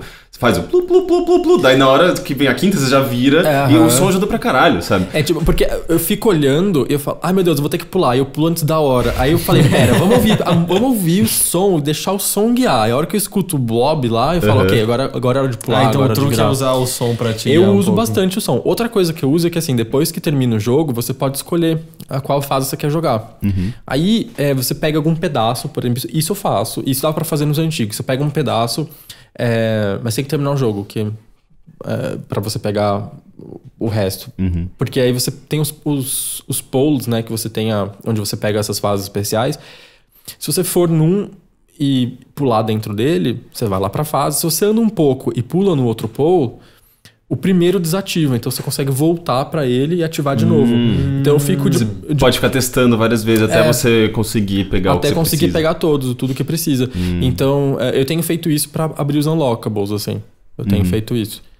Então e- tem a manha, manha, dicas e truques, Sonic Mania. é, eu, faço, eu faço isso, assim. Que é Tem, um, tem alguma outra manha, tipo, sei lá, pra, pro outro bônus da, da corridinha? O que eu percebi do, do, do, do Mode 7, aquele em 3D, era que pra mim no começo era muito difícil quando eu pulava, porque tem um momento de continuar, né? E aí eu percebi que quando tem aquelas áreas que te diminuem de velocidade, que são aquelas graminhas e tal, dá pra pular por cima delas em alguns pedaços, assim. É, e eu senti, falei, ok, então na verdade ele é feito pra que isso aconteça, eu senti. Então tem certos momentos em que se você pular por cima você é recompensado de alguma forma, sabe? É, Então, eu senti que você tem que pegar talho, você tem que. É. Se você ficar no caminho normal só pegando bolinha, você, vai nu- perder. é, você, você nunca nunca vai conseguir lá. chegar no. Especialmente a partir da segunda, terceira É. esmeralda. Então foi uma coisa que eu senti assim, tipo, ele, ele vai, ele incentiva de algum jeito a sair do caminho principal e buscar algumas outras, algumas outras alternativas. Eu achei, é o primeiro é, Special Stage de Sonic que eu realmente gosto de jogar. Os outros era tipo um desastre. Nunca consegui, nunca consegui fazer o Super Sonic. Nunca. Não, mas é- é, eu precisava de, de sempre colocar um código especial pra conseguir fazer Super Sonic, porque eu acho que não tem nenhum. E e olha que eu joguei todos e eu gosto muito de Sonic. Não tem nenhum que eu tenha conseguido pegar todas as esmeraldas. Talvez eu acho que Sonic 3D Blast. Que nem é tão apreciado assim, mas eu acho que ali eu me lembro de ter conseguido. Mas é, é porque é muito difícil, as fases bônus são sempre muito difíceis. Elas são, e eu, eu sempre. é, Do Sonic 2, que tem aquele half pipe lá, eu nunca conseguia jogar aquilo, sabe? então eu fico feliz que, tipo, o Special Stage do Mania, tipo, ele é jogável, tipo, dá, dá pra pegar, assim, ele, ele tem um nível de desafio legal. Tipo, e não sei. Pelo menos comigo, eu falei, não, eu quero pegar sete. É, é tipo uma questão de, De honra. honra. Eu quero pegar Você sete trabalhou esmeraldas. nesse jogo, você tem É, que ter eu ele preciso. 100%, todos É os, da os é Eu preciso de platina com todos os personagens. É, mas tem sido muito legal, assim. É, é, Até porque eu tenho jogado desde que eu entrei no- na equipe. No começo era tipo só o demo, a demo pra, pra evento, coisa do tipo. Então foi muito legal acompanhar como os- as fases foram sendo colocadas e foram sendo mudadas ao longo do jogo, sabe? Toda semana tinha uma build, então a gente via, ah, o que entrou agora, sabe? Ah, a fase também é incompleta, mas já dá pra sentir a vibe. Então, por exemplo, ah, colocaram os assets que eu fiz só o, mapa, assim, sabe? Não, não tava nada construído. Falei, ok, tá funcionando. Ou não, não tá funcionando. Tom, eu preciso refazer uma coisa, tá? Dá, um- dá um tempinho aí que eu vou refazer uma coisa. Então, ah, enfim, foi legal acompanhar o crescimento, sabe, do projeto. Isso foi muito bom. E, e, tipo, você eh, jogando a versão final agora, assim, tipo, você tem alguma relação ainda, digamos, como consumidor, assim, tipo, você não, você não, você não tem um certo saco, você não fica de saco cheio de olhar aqui e falar, ah, tem que jogar de novo pra, sei lá, Pior tipo, é que meio... não, eu tô jogando, eu tô jogando um pouco, um pouquinho por dia, porque eu tô achando divertido. Ah, é? sabe? eu tô jogando todo dia um teco. Mesmo já tendo jogado várias e várias e muitas horas ali muitas, dentro. Muitas, porque é o que eu falei. Agora o pessoal descobriu o do barulho do negócio, que eu tinha esquecido que Uhum. tava enfiado lá, sabe? Aí eu falo, meu, deixa eu ver de novo como é que a gente resolveu esse negócio, sabe? E aí eu tenho achado divertido. Falar, meu, olha esse caminho que eu não peguei. Pessoal safado, esses né? Que Mas isso é engraçado porque, é, é, por mais que seja ainda uma relação muito ligada ao, ao sua experiência profissional ali dentro do jogo com a equipe e tudo mais, continua sendo divertido, só que de uma outra maneira, né? Não necessariamente o, o mesmo tipo de diversão do, da pessoa que acabou de comprar o jogo e tá jogando, porque, tipo, é, tem a relação normal de consumidor, sabe? Mas ainda assim, tipo, né, a experiência continua sendo interessante pra você, até porque o jogo é um negócio tão grande, né? As fases são tão São gigantes, enormes. sempre tem coisinhas E tem vezes, tem vezes, por exemplo, porque a gente não, a gente não. Eu nunca vi o mapa inteiro das fases, tipo, en- enorme, porque, meu, foi tanta coisa sendo feita e rápida e tal. Então, eu jogo às vezes e falo: olha esse caminho legal. Olha, por exemplo, há pouco tempo atrás eu joguei uma fase que tem um caminho só do Knuckles e eu não sabia que tinha. E é muito bom. Eu rejogo ela várias vezes que eu falo: meu, ela é legal, ela, ela te dá uma sensação de tipo. Tá jogando certinho, sabe? Que, que bacana, sabe? Eu acho divertido. Tem o, o lado de estar dentro da história, de acompanhar tudo, mas tem o lado de quem tá vendo de fora também e fala, meu, isso tá divertido, tá legal, sabe? Até é um bom sinal, né? É um bom sinal, até porque tem muito unlockable. Então eu gosto de testar o jogo com eles, assim, sabe? Com as habilidades novas e coisas que tem. A gente chegou a ver o- a habilidade do Sonic CD, né? O de você Do peel out, pular né? e, Sim. e já, tipo... Eu mas eu não sabia que tinha isso no Sonic CD. O qual? O do. O que, o que a- essa que a gente destrava é o que você cai do chão e sai já dando dash ou Ah, não, não? não, essa, essa já tá de default, o Drop Dash. Que a é- do Sonic CD é aquele que ele fica com aquela fitinha vermelha embaixo e vai super rápido. Entendi, mas isso você destrava? Sim, a gente destravou na transmissão ontem. Mas O quando. peel- peel antes, out, né? Se É, você não, out. destra- não destrava isso, você, você corre normal igual no Mega Drive? Sei lá. Não, se você não. É porque assim, no- com Super Peel Out, se você aperta pra cima e o botão de pulo, ele carrega um turbo mais rápido, só que sem fazer bolinho. Ele Não, eu, não- assim. eu não, não tava usando. Eu acho que era isso que o pessoal falou. Sim. Henrique, você não tava usando essa. cima, não E aí. É, o- não no, no modo, no modo normal, vanilla, assim, default do Sonic Mania, é o Drop Dash, que se você pula e aperta o, o botão de pulo de novo no meio do ar, Ah, ele sim. cai e já sai E já no, sai, tubo. né? Que é uma adição super pequena, se a gente for parar pra pensar em termos de mecânica, mas é enorme na, na consequência do jogo, assim, porque você não para. Se você quiser correr feito um maluco no cenário, você faz, É, você pra usa. time, time Attack. Nossa, e a gente. é, isso a gente fazia um pouco também entre a gente. A gente ficava fazendo quem conseguia mais rápido. A gente fazia Uhum. competiçãozinha assim. Ah, mas quem faz 30 segundos, 10 segundos. Tipo, que como você matou a fase em 10 segundos? Mas o Drop Dash é muito legal pra, pra, pra gente que tá. pra speedrunners e coisas do tipo. Porque é uma adição pequena. Mas, de novo, dá possibilidade. Se alguém quer jogar mais devagar, explorar, tem, rola. E quem quer jogar mais rápido, mais correndo, tipo, sentir aquela. Ah, sou mais rápido, não nada me para, também tem, sabe? Isso é muito legal. Você tem mais alguma pergunta, Rick? Hum, acho que não. Então, vamos lá. O que que... Você já falou um pouquinho sobre, mas o que que o futuro guarda pra Midio agora? Você tá trabalhando Mano. no, no Pathway e vai abrir uma loja de planta. Mano, sei lá, tipo, eu não sei se eu vou estar vivo amanhã, assim, eu não sei se eu vou conseguir comprar pão. Eu tô sempre, eu sou, tipo, eu sou muito de, ok, vamos preocupar com o que eu tenho pra fazer agora. É, realmente, eu descobri o ano passado uma conexão muito grande com plantas, muito. Tipo, minha casa é meio que uma selva, assim, e tá tudo bem, eu adoro. E aí, eu tô pensando em fazer alguma coisa a respeito com elas, assim. Talvez uma lojinha de plantas, alguma coisa online. Então, tô me movendo um pouquinho para isso. É, projetos próximos, nada em vista. Já tá meio que batendo desespero de... Meu, preciso de outros projetos. É, o projeto que eu tô fazendo agora, o Pathway, termina em agora no fim de agosto. E isso é a sua parte ou o jogo já sai agora? Em... Não, não, a minha parte. Minha parte. Termina agora em agosto. Mas agora também com Sonic Mania, as pessoas sabendo que você trabalha no Sonic Mania e tal, deve, deve surgir naturalmente com figuinhas, tempo. né? figuinhas, assim, eu realmente espero que tenha, sabe? Mas, de novo, eu acho que o maior ganho com, com o Mania, assim, foi muito pessoal, sabe? Muita gente, ah, meu, vai, ter, vai chover trabalho. Tipo, pode ser que sim, pode ser que não, sei lá qual vai ser o momento, se vai ter outros remakes, vai ter gente querendo fazer muita coisa em pixel art, se pixel art vai morrer, se vai continuar. Eu não sei, Pra mim meio que tanto faz. Agora, o ganho pessoal de falar, meu, eu, eu fiz um jogo da minha infância, sabe? Eu trabalhei numa franquia que eu sempre gostei e aprendi tanto com essa galera, sabe? Troquei tanta coisa. Foi uma experiência tão generosa, tão humilde, sabe? Entre todo mundo que eu falo, pô, é, isso foi o mais importante, sabe? É, eu sempre falo, as pessoas no Twitter têm tipo, meu, a sua arte, o, o Sonic Mania é tudo lindo graças a você. Tipo, eu sou só um dos artistas, uma das várias pessoas da equipe, sabe?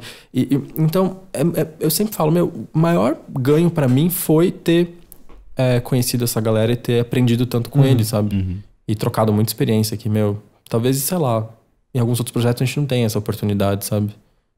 E você chegou a conhecer o pessoal fisicamente mesmo? A gente tinha combinado de fazer uma festa, assim, quando tiver o lançamento e tal, mas acabou ficando complicado, sabe? Eu sei que, tipo, um, um pessoal se encontrou agora, ontem, lá no lançamento em Los Angeles. Mas, tipo, eu quero muito encontrar com eles, assim, muito. Tipo, era uma coisa que eu já tava é, querendo algum tempo. Deve ser estranho conversar durante tanto tempo com pessoas que você acaba nunca vendo pessoalmente. Meu, isso é uma coisa que acontece muito durante o desenvolvimento, porque a gente fala com. A gente fala todo dia, o tempo todo. Às vezes de coisa pessoal, tipo, meu, sei lá, o cachorro tá doente, eu tô mal, tomei chuva, sei lá. Qualquer... As pessoas conhecem da vida um do outro, sabe? A gente sabe das piadas, como cada um age, qual é o meme favorito, que gosta É, de você comer. não é só um, um contractor, né? Não é do tipo, ele te pagou e Não. entregou o trabalho. É desenvolvendo junto mesmo. É, a gente desenvolvendo junto, é, tipo. Tanto é que assim, quando acabou minha parte do contrato, eu fiquei muito mal, do tipo, poxa, não vou trabalhar mais, sabe? O pessoal ficou mal, do tipo, poxa, acabou o que o tinha- tava fazendo com a gente, sabe? Tipo, a gente ficou meio que num depresinho, sabe, por um tempo. Você acabou quando, mais ou menos, a sua parte? Foi em fevereiro. E aí toda vez que alguém terminava o que tinha que fazer e o chat ia, ia perdendo corpo, assim, de coisas que a gente ia postando e tal, ia ficando vazio, assim, tipo, ah, não, sabe, pô, tá acabando, tá esquisito, não, não pode. É, é porque a gente realmente se conectou bastante, sabe? Então, é, mu- foi muito mais do que uma relação de contractor, de, sei lá, profissa, assim. Foi bastante profissional, mas teve bastante relação pessoal também, muita amizade, isso meu, é, nada paga isso, sabe? Nada compra esse tipo de, de, de colega de trabalho ou de, de relação que a gente É, encontra. exatamente, isso reflete no jogo, né? Na qualidade do Sim, jogo. as pessoas falam, meu, dá pra sentir amor, sabe? O amor que vocês enfiaram nesse jogo, dá, dá pra. É, é, é- é- dá pra sentir, sabe? É gostoso de jogar porque tem carinho enfiado, sabe? Não foi feito, é, foda-se. Não, a gente fez com muito carinho, sabe? E a gente sempre tratou um ao outro com muito carinho, muito respeito. É, respeitar a diversidade, respeitar quem cada um é, sabe? É, nunca teve, tipo, papinho com preconceito, nunca teve, tipo, porcaria. Tipo, todo mundo se respeita muito. É, Tem, é, tem, por exemplo, a Lola e a Taryn, acho que são as duas únicas meninas na equipe. Eu nunca tive um caso de machismo, nunca, tipo, todo mundo igual, to- como tem que ser a vida, assim, sabe? Todo mundo tratado igual. Eu por ser gay, nada, sabe? Tipo, não, não existe, não existe. Foi uma relação. Qual o tamanho da equipe total, mais ou menos? Assim, tipo, do. Deve do... ter umas 20 pessoas. É um time Hum, pequeno, né? É, um time pequeno, assim, no máximo umas 20 pessoas. Tem uma galera. é, se a gente vai aumentar se a gente contar o pessoal que é o pessoal da SEGA, os, os QAs, Sim. o pessoal que testa. Tipo, Mas tô falando do corezinho. o core né? deve ter estourando 20, deve ser lá uns 15, 16. Por aí, assim. É bem É, pequeno. impossível você não conhecer todo mundo, né? É, então. Quando- é, Durante o processo, teve muita gente que eu não me conectei tanto. Sei lá, tipo, teve um level designer, o outro, outro cara que fez a, a mixagem, que a gente não, não teve tanto contato. Porque como às vezes é meio na, na loucura, sabe? A gente tá fazendo um monte de coisa, a gente não tem tempo pra sentar e falar, ei, e aí, como é que tá? Como é que estão suas coisas? Então, eu fiquei mais próximo do pessoal que eu tinha que conversar e trocar coisa todo dia. Então, o pessoal da arte, sabe? O- os programadores que tinha que conversar é, sobre os- as coisas que eu tava fazendo, a gente ficava mais próximo. Mas assim, é, de, de algum, em algum momento a gente parava pra falar besteira ou pra dar risada, aí a gente se conectava e, e- e batia papo, sabe? Então, de fato, assim, é, a gente teve contato com todo mundo. Entendi. Bom, Sonic Mania tá disponível nesse momento para Switch, Xbox One, PlayStation 4 no dia 29 desse 29. mês, é a versão de, de PC. PC. Então, vamos dar uma olhada nos e-mails que a gente recebeu hoje? Vamos. Caso você queira escrever para nós, você deve enviar um e-mail para mothership.overloader.com.br. Pode ser uma pergunta, pode ser uma dúvida, pode ser uma correção, pode ser um comentário, pode ser o que você quiser. O primeiro e-mail de hoje vem do Luiz Wendit, Wendit, não sei como fala o sobrenome dele. Mas ele, a gente comentou um pouquinho. Eu não lembro se foi o e-mail dele mesmo, mas era sobre faculdade de jogos no último episódio. Ah, e ele diz: sou, sou Luiz, estudante de jogos digitais na Unicinos, no Rio Grande do Sul. Quando vocês estavam falando dos cursos de desenvolvimento de jogos, o Rick falou que se o curso não tivesse 4 anos, ele deixaria de ser graduação. Isso está incorreto. Incorreto, sério? O que ele poderia deixar de ser é bacharelado. Ah, Atualmente, bacharelado. o MEC tem três categorias de graduação: bacharelado, licenciatura e tecnólogo, no qual se encaixa esse- esses cursos de menor duração, dois, três anos e meio. Ah, e que são geralmente focados em algo específico. Isso é importante porque, diferente dos cursos técnicos, o tecnólogo dá ao formado um diploma de ensino superior com todos os direitos que um bacharel também teria. E para dar uma- opinião no e-mail. A faculdade de jogos realmente não é necessária, mas se você precisa de um incentivo e quer ter ajuda de pessoas que sabem e não querem entrar nessa área perdido, é algo interessante. Ah, como você já tem uma graduação, eu diria para tentar um curso de pós-especialização ou, ah, até onde eu sei, elas têm um ritmo diferente. Ah, mas você aprende o que geralmente a gente aprende na graduação. Conheço um pessoal que fez especialização na PUC do Rio Grande do Sul e eles gostaram bastante. Ah, sobre podcasts de ensinando game design, indico o Designer Notes, que é um cara da indústria conversando com pessoas fodas da indústria, como Sid Meier. Ah, como o Sid Meier, é muito bom. No mesmo estilo tem o Construindo Mundos, do Jogabilidade, que entrevista desenvolvedores brasileiros. Você que- você tem alguma opinião sobre faculdade de, de games? Eu tenho um pouco, assim, que é. Eu acho que às vezes a gente corre risco de. é, as pessoas. Eu venho de uma formação que te- teoricamente não tem nada a ver com o que eu faço, né? E a maior parte das pessoas que desenvolvem jogos que eu conheço hoje também vieram de áreas completamente distintas, etc e tal. E eu acho que assim. é, Esqueci o que eu ia falar. Pera. É, quando a gente. quando- é que a gente confunde muito a ideia de, de faculdade com formação profissional, né? Quando na verdade faculdade é formação acadêmica e aí a gente pode usar isso ou não para seguir uma carreira, enfim. A faculdade não te prepara, não te profissionaliza especificamente para isso, né? Então, por mais que você faça uma faculdade voltada para games, não necessariamente ela vai te mostrar as realidades do mercado ou vai te mostrar como que se faz mesmo, ela vai te dar uma ideia geral.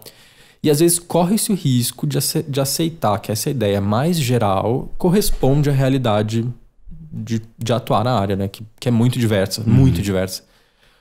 É, para algumas pessoas pode funcionar, eu acho. Não sei. Para mim, eu não sei se funcionaria. Eu gosto de ter feito uma outra faculdade, trazer o outro filtro dessa faculdade para a maneira com que eu vejo o mundo e como eu produzo as minhas coisas. E eu não sei se eu acho essencial. Pode ser interessante para algumas pessoas. Mas uma coisa que eu sempre recomendo é um primeiro contato fora do ambiente acadêmico para perceber é, o que as pessoas têm produzido, o que elas têm feito. Para mim, o grande choque de realidade foi ter participado de fazer um jogo, fazer mesmo, botar a mão na massa num fim de semana e falar: olha o que eu consigo fazer num fim de semana com uma galera ou, meu, vai num evento na sua cidade que o pessoal que produz jogos, é, para que eles mostram, tipo, spin, sabe? Coisa do tipo, para ter um primeiro contato. Se a sua cidade não tiver, tenta conversar com uma pessoa à distância, sabe? Manda e-mail ou manda um tweet para aquele cara que você admira e pergunta: Meu, como você começou? Eu, eu recebo um monte de e-mail de gente mais nova que fala: Meu, tenho vontade de fazer faculdade quero fazer jogos. Você acha que eu preciso fazer Eu sempre explico e conto como foi comigo, como é com outras pessoas e o que pode funcionar, o que pode não funcionar. Não é questão, tipo, não faça faculdade, faça, mas às vezes vale mais a pena talvez estudar uma área acadêmica é, e tipo, depois se especializar, né? Exato, tipo, eu acho que tem certas coisas que funcionam para algumas pessoas que não vão funcionar para você, sabe? Então, entre em contato com todo mundo que você pode para saber como funciona e se, se aquilo toca você de algum jeito, sabe? É, e, meu, conversa com as pessoas, fala para as pessoas, entre em contato, conversa com as pessoas, vê se realmente é o que você quer, sabe? Se vale a pena fazer uma pós, se vale a pena fazer, tipo, outra coisa. É, pega, por exemplo, a Thaís, a Thaís Weiler, né? Hum. Ela fez, acho que, moda, jornalismo. Thaís, me corrija se eu tiver errado. Ela fez as duas coisas, né? me corrija, Thaís. Fez, tipo, moda, jornalismo e a pós dela foi em games. Uhum. Aí foi quando ela sacou que era jogos. Mas, tipo, é uma, uma visão tão ampla de, de, áreas tão distintas que se complementam na maneira com que ela encara o mundo, que é super interessante para a maneira com que a Thaís é, é, é, é, projeta ou faz os jogos dela, sabe? Isso é uhum. muito legal. Então, às vezes é legal também isso, sabe? Pensar em coisas completamente diferentes. Bom, é, sei lá, você estudou design, né? E, eu estudei letras. E aí estamos aqui jornalismo, é. né? É, ninguém se formou naquilo do que é trabalha. É só, só Teixeira, é verdade. Uh, o próximo e-mail vem do André Santos. Ele comenta sobre as conversas que a gente teve sobre Just Cause. Só pra, pra te atualizar, mídia, é que as conversas sobre Just Cause foi o Teixeira comentando que é um jogo que você tem ampla liberdade, mas ele não se sentia incentivado a usar de todos os recursos porque ele sentia que simplesmente atirar e jogar umas granadas cumpria o objetivo que, que o jogo uhum. dava a ele. E eu falava que, tipo, ele basicamente ele tava desperdiçando toda uma gama de possibilidades e ele tava, ele tava se focando na efetividade, mas ele tava deixando de explorar o campo de, de, possibilidades do jogo. E aí a gente recebeu na semana passada um e-mail que dizia: Mas olha, pensa na seguinte situação. Você tá com seus parceiros ou parceiras sexuais e eles de repente são capazes de cumprir todos, todos, todos os desejos sexuais que você tiver, até os inimagináveis. Você nunca pensou, mas você tem. É culpa sua se você não aproveita isso ou, e vira pro lado e bate uma punheta e dorme. E é, tipo, Porque a punheta é o mais efetivo naquele momento. uh, e aí o André Santos escreve hoje pra dizer... Gostei bastante da reflexão sobre Just Cause 3 dada pelo Lone Player, que foi quem tinha escrito e-mail no último Mothership, e gostaria de contra-argumentar. Imaginem que na frente de vocês estão seus respectivos parceiros. Eles podem te oferecer todas as práticas de coito, Todas. Até mesmo. Práticas as... de coito as inimagináveis. Vocês tentariam apimentar a relação tentando encaixar granadas e wingsuits no ato sexual? ou uma rapidinha no quarto já está bom pra vocês? Ele foi longe demais! Não, eu prefiro a. Eu prefiro a, a já, eu não sei diz? como é que você encaixaria um momento suit no, no, na é. prática de coito. Não. não, mas eu prefiro o e-mail da semana passada. Nem passarinho. Não, passarinho transa, transa voando? Só um deles, né? Um fica pousadinho. Eu não sei, eu não sei como passarinhos transam na real. Eles tipo... transam? eu acho que, tipo, fica a fêmea pousada e o macho fica atrás batendo só rapidinho as asinhas. Então, mas, e, tipo... por exemplo, passarinhos que estão sempre. Tipo, um beija-flor, será que eles fazem no ar? Fica, Eu- fica a pergunta. Eu não sei. acho que sim. Eu Não é acho que sim. possível, gente. É, é, é fecundado, sei lá, por ondas sonoras, por vibração, por É que, qualquer é que coisa. depende do bicho, é muito, muito rápido, né? Não, não é o lance, o leão ele transa 24 vezes em uma hora, mas tipo, cada transa dura 10 segundos. E, tipo, match, match, match, goza, para. Será que é Aí, igual tipo, match, match, pinto match, de né? gato que tem as os espinhos e Não por sei. isso que, é, que machuca? Mas tem espinho, não é que o de gato é formato de guarda-chuva, o que tem espinha é de pato. Eu não sei, gente. É, é bizarro, Não, é bizarro. não, mas Pirocas são bizarras. Tipo, assim, tem um. Eu lembro quando foi. é, in- Inclusive na Tectoy. A gente.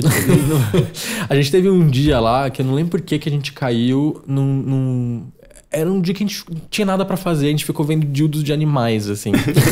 e é muito bizarro. Tem uns bizarríssimos. Golfinho tem dois. Ah, não sabia disso. É um negócio bizarro. Tipo, double E pronged, tem dildo assim. de, golfinho? Tem dildo de golfinho. É bizarro, tipo, porque assim, como não tem atrito na água, eles usam um pra segurar e o outro pra fazer Ah, o rolê. ok, faz Caralho, sentido, evolução. E aí a gente é uma mão. É, e a gente falou, mano, pirocas indicam muito, a- tipo, várias ambiente que a gente coisas. tá. é. É verdade. Só que a gente ficou meio impressionado, assim, que tem realmente pessoas que compram dildos com espinho, dildos Mas, de... é, Não, mas eu acho que o de pato, na verdade, não é que tem espinho, é o que cresce no formato específico. Não, é que assim. Ele é... faz um blum, blum. É, ele, ele, ele, é um- ele tem um, É bizarro. Patos têm uma ereção explosiva. É, ereção se explosiva. eles estão do tipo, se não tem nenhum empecilho, eles saem meio que em forma de saca-rolha, mas muitos têm espinhos. E Tem um vídeo, se procurar no YouTube, no Ah, YouTube é. Duck, Fa- Duck Facts, você encontra. Patos são horríveis. Patos são estupradores, sem zoeira. Gente, que E é o bizarro. único animal registrado de ter necrofilia. É, necrofilia homossexual especificamente. Caralho, né? que bizarro. Mas aí o que acontece é que eles têm esse pinto explosivo, que quando eles têm ereção, tipo, o pinto sai com tudo. E aí, a, como eles são muito agressivos, as fêmeas evoluíram de forma a ter um útero que é de labirinto. E aí o pinto deles evoluiu para que essa ereção explosiva consiga percorrer esse labirinto. Só que o labirinto das fêmeas também evoluiu para ter beco sem saída, pra, pra tipo, ele não conseguir fecundá-la. E alguns patos evoluíram para ter espinhos no pinto para raspar e matar o esperma de um pato adversário que, Que já é tenha exatamente isso que com- acontece no, no caso dos gatos. Dos gatos, é Sim, isso? e por conta de, o, o espinho serve pra exatamente isso. Nossa, mas nossa, tipo, depois que penetrou e sai do labirinto, ele corta o pinto e nasce um outro. Sai, Porque, sai, porque não é possível. Sai, só que quando acaba a temporada de, de, de seal, de, de cruzamento, o pinto do pato cai e cresce depois na próxima temporada e o tamanho muda de acordo com a competição de machos no local. Gente, se tem, se mais machos, o pinto é maior. Pô, rende Esse- um jogo isso, né? É todo um sistema biológico que dá pra você tá, gamificar isso. Eu daí. recomendo esse vídeo chama Duck Facts e também tem o é, Scientifically Accurate DuckTales, que é a música do Gente, DuckTales com os fatos do Eu não do sei se eu quero ver isso, eu não sei se eu quero ver isso. É, tipo, é, é, have diarrhea, salmonella, DuckTales. Bom, é, não tem nada a ver com o e-mail. Isso. Próximo e-mail é do Marcelo Hagman. Ele diz. Ah, sobre a discussão do porquê colocamos jogos em um patamar diferente de filmes e música quando tratamos de arte, creio que essa dis- distinção se dê muito mais pela barreira que os jogos impõem aos possíveis jogadores e pelo fato da grande maioria só associá-los a brincadeiras.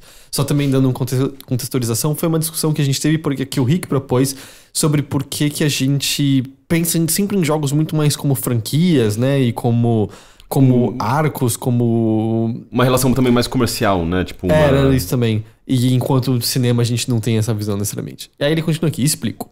Sou dono de um Wii U e recentemente adquiri um Switch. E desde a compra, o primeiro, eh, desde a compra do primeiro console, venho tentando encontrar jogos com os quais posso utilizar meu equipamento eletrônico de alto custo para fins de entretenimento junto de minha irmã, que tem interesse por jogos. No Wii U tive duas experiências. A primeira foi com Mario Kart 8, um verdadeiro desastre. Minha irmã não conseguia se manter na pista, nem sequer eh, compreendeu a mecânica dos itens, ah, mesmo na menor velocidade disponível do jogo. Tudo era rápido demais para ela. Resultado, ela se frustrou e desistiu do jogo antes mesmo que eu pudesse suavizar a curva de aprendizado dela. A segunda experiência no console, contudo, foi um pouco mais produtiva. Um jogo de tênis que usava os controles do Wii para, para se jogar. Era só uma demo que foi baixada automaticamente pelo console, mas foi bastante para jogarmos algumas vezes até esperado o tempo de teste. Depois disso, não se criou nenhuma vontade para gastar naquele jogo, que além de tudo parecia exigir mensalidade. Se eu não me engano, é um relançamento de Wii Sports que É, rolou no Wii acho U, que é. mas numa versão meio diferente. Tinha né? mensalidade? Era, era- eu não lembro exatamente qual era o esquema, mas. Eu é, também não lembro. eles ah, ele era free to play. Ele era free to play e aí Ah. você pagava pra jogar um tempo. Entendi. Agora com o Switch, tive também duas experiências. A primeira foi com o One to Switch, que minha irmã praticamente exi- exigiu que eu comprasse ah, em troca de comprar o Switch pra mim nos Estados Unidos.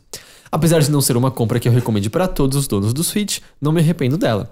Primeiro porque o jogo em si é divertido como um party game deve ser. É bastante engraçado ver pessoas que não estão acostumadas a jogar executando as diversas ações que o jogo te pede para fazer, como imitar um gorila, desfilar ou mesmo ficar parado em uma única posição com a respiração mais suave possível. E em segundo lugar, pelo fato de ter sido o jogo que mais funcionou para minha irmã. Ela entendeu as mecânicas tão rápido quanto eu e nunca se frustrou com o jogo, ainda que não ganhasse sempre. Há jogos que eu ganho dela quase sempre e há jogos que ela é claramente melhor do que eu. A segunda experiência foi com Sniper Clips e infelizmente não dá pra dizer que foi um sucesso absoluto. Primeiro porque, é, primeiro porque por enquanto só jogamos uma vez e segundo porque nessa única vez em que jogamos eu acabei meio que solucionando os, os puzzles sozinhos, já que bati o olho e já entendia o que era pra ser feito, enquanto minha irmã ah, e, em pouco, e em pouco depois minha mãe também jogou comigo, não conseguiam enxergar os desafios com tanta facilidade. Minha irmã até conseguiu aprender os controles com um pouco de facilidade, enquanto minha mãe não chegou a dominá-los de fato, tendo que relembrar o mapeamento dos controles quase que o tempo todo e olhar para eles para saber o que estava apertando, como alguém que está aprendendo a digitar. Enfim, o que eu tiro dessas experiências? Simples. A maior barreira que separa os videogames das outras mídias é a nossa intuição e a capacidade de abstrair conceitos e imagens. Enquanto para assistir um filme basta que você o tenha disponível, para jogar um jogo é necessário que se domine as mecânicas básicas dele, que visualize os objetivos com alguma facilidade e que se entenda a linguagem não verbal utilizada nesses jogos. E isso é gigante, enorme, é uma diferença muito grande entre outras mídias porque é só o primeiro passo. Assim como há filmes mais profundos que eh, eh, requerem conhecimento prévios, por vezes da linguagem específica do diretor ou de outros filmes do gênero, como eh, com jogos não é diferente. E como podemos crer que o público geral enxergue essa profundidade em jogos se o primeiro passo é tão maior que os demais? Eu acho que faz sentido essa sessão Sim, dele. nossa, assim, faz, de- certamente. faz super é, eu concordo com tudo que ele disse. de, de tipo, a, a- a gente. Porque até no fim das contas, a discussão que a gente tava tendo era uma relação já de quem. O termo não é bom, mas vamos dizer, é do, do jogador que eles chamam de core em certa, em certa medida, certo? A gente já tá muito acostumado com, com, com muito do que esses jogos É, têm. anos e têm anos de ensinar. aprendizado, de a gente estar É. inserido nessa linguagem há tanto tempo, a gente sabe de todos os conceitos de jogos, então é muito fácil. É ao ponto até de que quando um jogo não está nos ensinando, a gente tem o pensamento crítico de discernir se é design ruim que não tá tutorializando direito ou se faz parte do design do jogo não te ensinar Aham. aquilo de fato, né? Enquanto pra alguém que não tá acostumado com isso, eu imagino que essa distinção é completamente perdida. É porque né? te- eu acho que tem outras camadas, assim, né, quando a gente tá jogando do que num filme. No filme a gente tem sempre aquela, aquela recepção mais passiva, de, tipo, que normalmente tá tratando de temas que tocam a gente de alguma forma ou de outro, etc, etc, de coisas que a gente já viveu ou que a gente imagina. No jogo a gente tem pensamento processual, a gente tem pensamento é, tipo, é, é, espacial. Enfim, é- é, são outras camadas que se você não teve acesso em algum momento, é, fica um pouco complicado. É, é sempre tempo pra todo mundo, eu acho. Tipo, Só que, às vezes, um primeiro contato com alguma coisa que é tipo uma porrada na cara, assim, é um pouco complicado mesmo. E eu né? sinto que videogame, de fato, não é pra todo mundo, porque é, a gente faz- geralmente faz comparação com o cinema, mas cinema é só narrativa e emoção. Aham. É um negócio muito fácil, assim, tipo, você tá atingindo o mais básico do ser humano emocionalmente, e ele pode se identificar ou não, mas enfim, é tipo, a narrativa, é muito fácil de você se identificar com narrativa. É, eu acho que é a mídia mais é, é, eficiente da história da humanidade, sabe? Tipo, a gente conta histórias desde a época da- dos Homens das, das Cavernas. E, e videogame é um negócio que tem muito mais barreiras, né? Tipo, Às vezes nem tem a questão da história, tipo, não é necessário, é só a questão de, tipo. é- é- tem uma mecânica ali que você precisa solucionar. É basicamente solução de problema também, né? E nem todo mundo tá inter- tá interessado em sentar pra se divertir solucionando problemas. Exato. Apesar da gente fazer isso com humanos em todo toda a história da humanidade em todo o tempo, tem pessoas que não querem se divertir sentando resolver problemas. É, então eu acho que tem essa questão sim de, de- são outras camadas pra acessar que fica um pouco complicado pra algumas pessoas. E não é por falta de habilidade, eu acho que é só tipo por falta de contato, por não sei. Eu, eu acho por que isso- até o, o- vamos dizer, a, a rampa de aprendizado é muito maior do que, em- do que em outras mídias. Sim. Do tipo, óbvio, se você for assistir, sei lá, Truffaut, um David Lynch da vida, você vai ter uma certa dificu- dificuldade, mas além de tudo, o filme vai pra frente, independente do que você faça, né? Um jogo do tipo, ah, meu, eu travei. Travou. e é, eu não vou ver mais nada desse Tem que negócio. fazer de novo, agora. de novo, de novo, de novo, de novo. e às Por vezes isso que, que eu tenho gostado muito de jogos tipo Walking Simulators e variações que não trazem necessariamente desafio, que não, que não trazem mecânicas, que às vezes são só aquela experiência, sabe? E, e, e eu sinto que por mais que alguns jogos envolva você ter que usar, sabe, dois direcionais, um pra andar e outro pra mover, porque ainda é primeira pessoa, eh, esses jogos, muitos desses jogos eles estão tentando simplificar o máximo possível. É tipo, é o jogo mais não jogo de todos e eu acho isso bom, na verdade, porque você tá permitindo com que, fazendo com que esse jogo se torne mais acessível para muitas pessoas. Uh, e ao mesmo tempo oferecendo uma nova perspectiva do que videogame pode ser. Videogame pode ser mais narrativa e ainda videogame, ainda ser uma, uma experiência Uhum. valiosa e, e às vezes vai te tocar muito mais, vai ter justamente essa essa qualidade que outras mídias também têm, sabe, como o cinema, Aham. sabe? Então, é, eu acho que a gente tem cada vez mais jogos que permitem que outras pessoas a- a- os acessem sem necessariamente as barreiras da, de, de desafio, as barreiras de, sei lá, de lógica, de controle. Eu acho isso bom, sabe? Uhum. Eu também acho bom. É, Muita gente fica, ah, não, não são jogos. Fala, meu, são sim, pra parar. Sabe, eu acho que é, tem pra todo mundo. E acho que às vezes pode ser um primeiro contato muito legal pra muita gente que não tem é, o repertório. Acho que as pessoas confundem dizer Walking Simulator não é pra mim com não é jogo. É. Tipo, cara, é totalmente ok se não gostar. É totalmente ok, totalmente É só do tipo, eu nunca vou entender por que, que existe uma resistência tão grande em querer se, em querer se pra um, pra um secto de pessoas que gostam de videogame, diminuir o que videogame pode ou não pode ser. E uma eu coisa nunca que, vou entender E isso. uma coisa que eu sempre falo, inclusive, tipo, e- e a gente não precisa gostar de tudo, sabe? Mas, inclusive, tá aberto pra perceber que tem walking simulators que são muito bons, que tocam e que são da hora, que são jogos, que são tudo é, é- é possível e válido, sabe? A gente tem que estar aberto pra receber. Não, é- não são todos que eu vou falar, puta, que legal, amei. É, é- é- acho que as pessoas. Isso é uma coisa que acontece com muita frequência, da gente parar no gênero, né? Tipo, ah, não gosto de, então não vou jogar. Tipo, a- eu acho interessante a gente ter esse tipo de, de possibilidade de, de- Mas é curioso que ao mesmo tempo eu sinto que as pessoas que mais gostam, apreciam Walking Simulator são justamente as pessoas que já jogavam profundamente e que começaram a apreciar essa esse, nicho e, e esse novo gênero que surgiu de tempos pra cá. E não as pessoas que não que que, sei lá, nunca jogaram videogames e falaram: "Olha, isso parece interessante narrativamente, deixa eu jogar isso aqui". E é curioso tanto, tanto é que pra muita gente, sei lá, amigos meus que é, jogam um pouquinho de videogame, tem algum contato com videogame, até tem videogame em casa e tal. Quando eu falo desses jogos, parece que eles não dão a mínima. Eles querem Ah. jogar justamente jogos divertidos, os jogos que aqueles aquele, aquele tipo de experiência que tá mais associado com videogame de- da, da forma clássica, sabe? Aham. Então é engraçado assim, a gente tem muitas possibilidades do de jogos, é, jogos mais narrativos, jogos mecânicos e tal. Mas, mas parece que a gente tem coisa demais, mas ainda assim a gente tem uma dificuldade muito grande em juntar tudo isso e fazer com que as pessoas entendam que tem um pouquinho de tudo e que jogos não são só isso ou só isso. É, é é uma fase muito esquisita de videogames que a gente Eu, vive. eu tenho a sensação de que a gente para muito no gênero, isso eu sinto muito, assim. A gente, é, a gente abre o Steam e tem lá casual, é, plataforma, aventura, tipo. A gente pode parar um pouco, sabe? Porque eu acho que esse é o problema que a gente. Isso é um problema que a gente tem na- no modo de apreciar mídia, sabe? Quando a gente para pra Classificar tudo, né? classificar tudo. Quando a gente para pra pensar no MASP, vamos pensar um pouquinho fora, assim, sabe? Quando a gente pega o MASP, a, a experiência arquitetônica que a Lina Bobardi queria com o MASP era, primeiro, nunca teve parede, ou aquele museu. Era tipo, como tá hoje, um mar de quadros, para que o visitante não parasse e falasse, eu não gosto de, de arte moderna, então eu vou ver só quadros do século XVIII. Por quê? É muito importante que você olhe, aprecie e fale: hum, na verdade, esse quadro modernista é bem legal. Vamos ver de quem que é. E aí você fica mais aberto sem esse tipo de classificação. É, no- na proposta museográfica dela, tem um pouco disso, de, tipo, de transformar acessível sem necessariamente a rotulagem do, do gênero, né?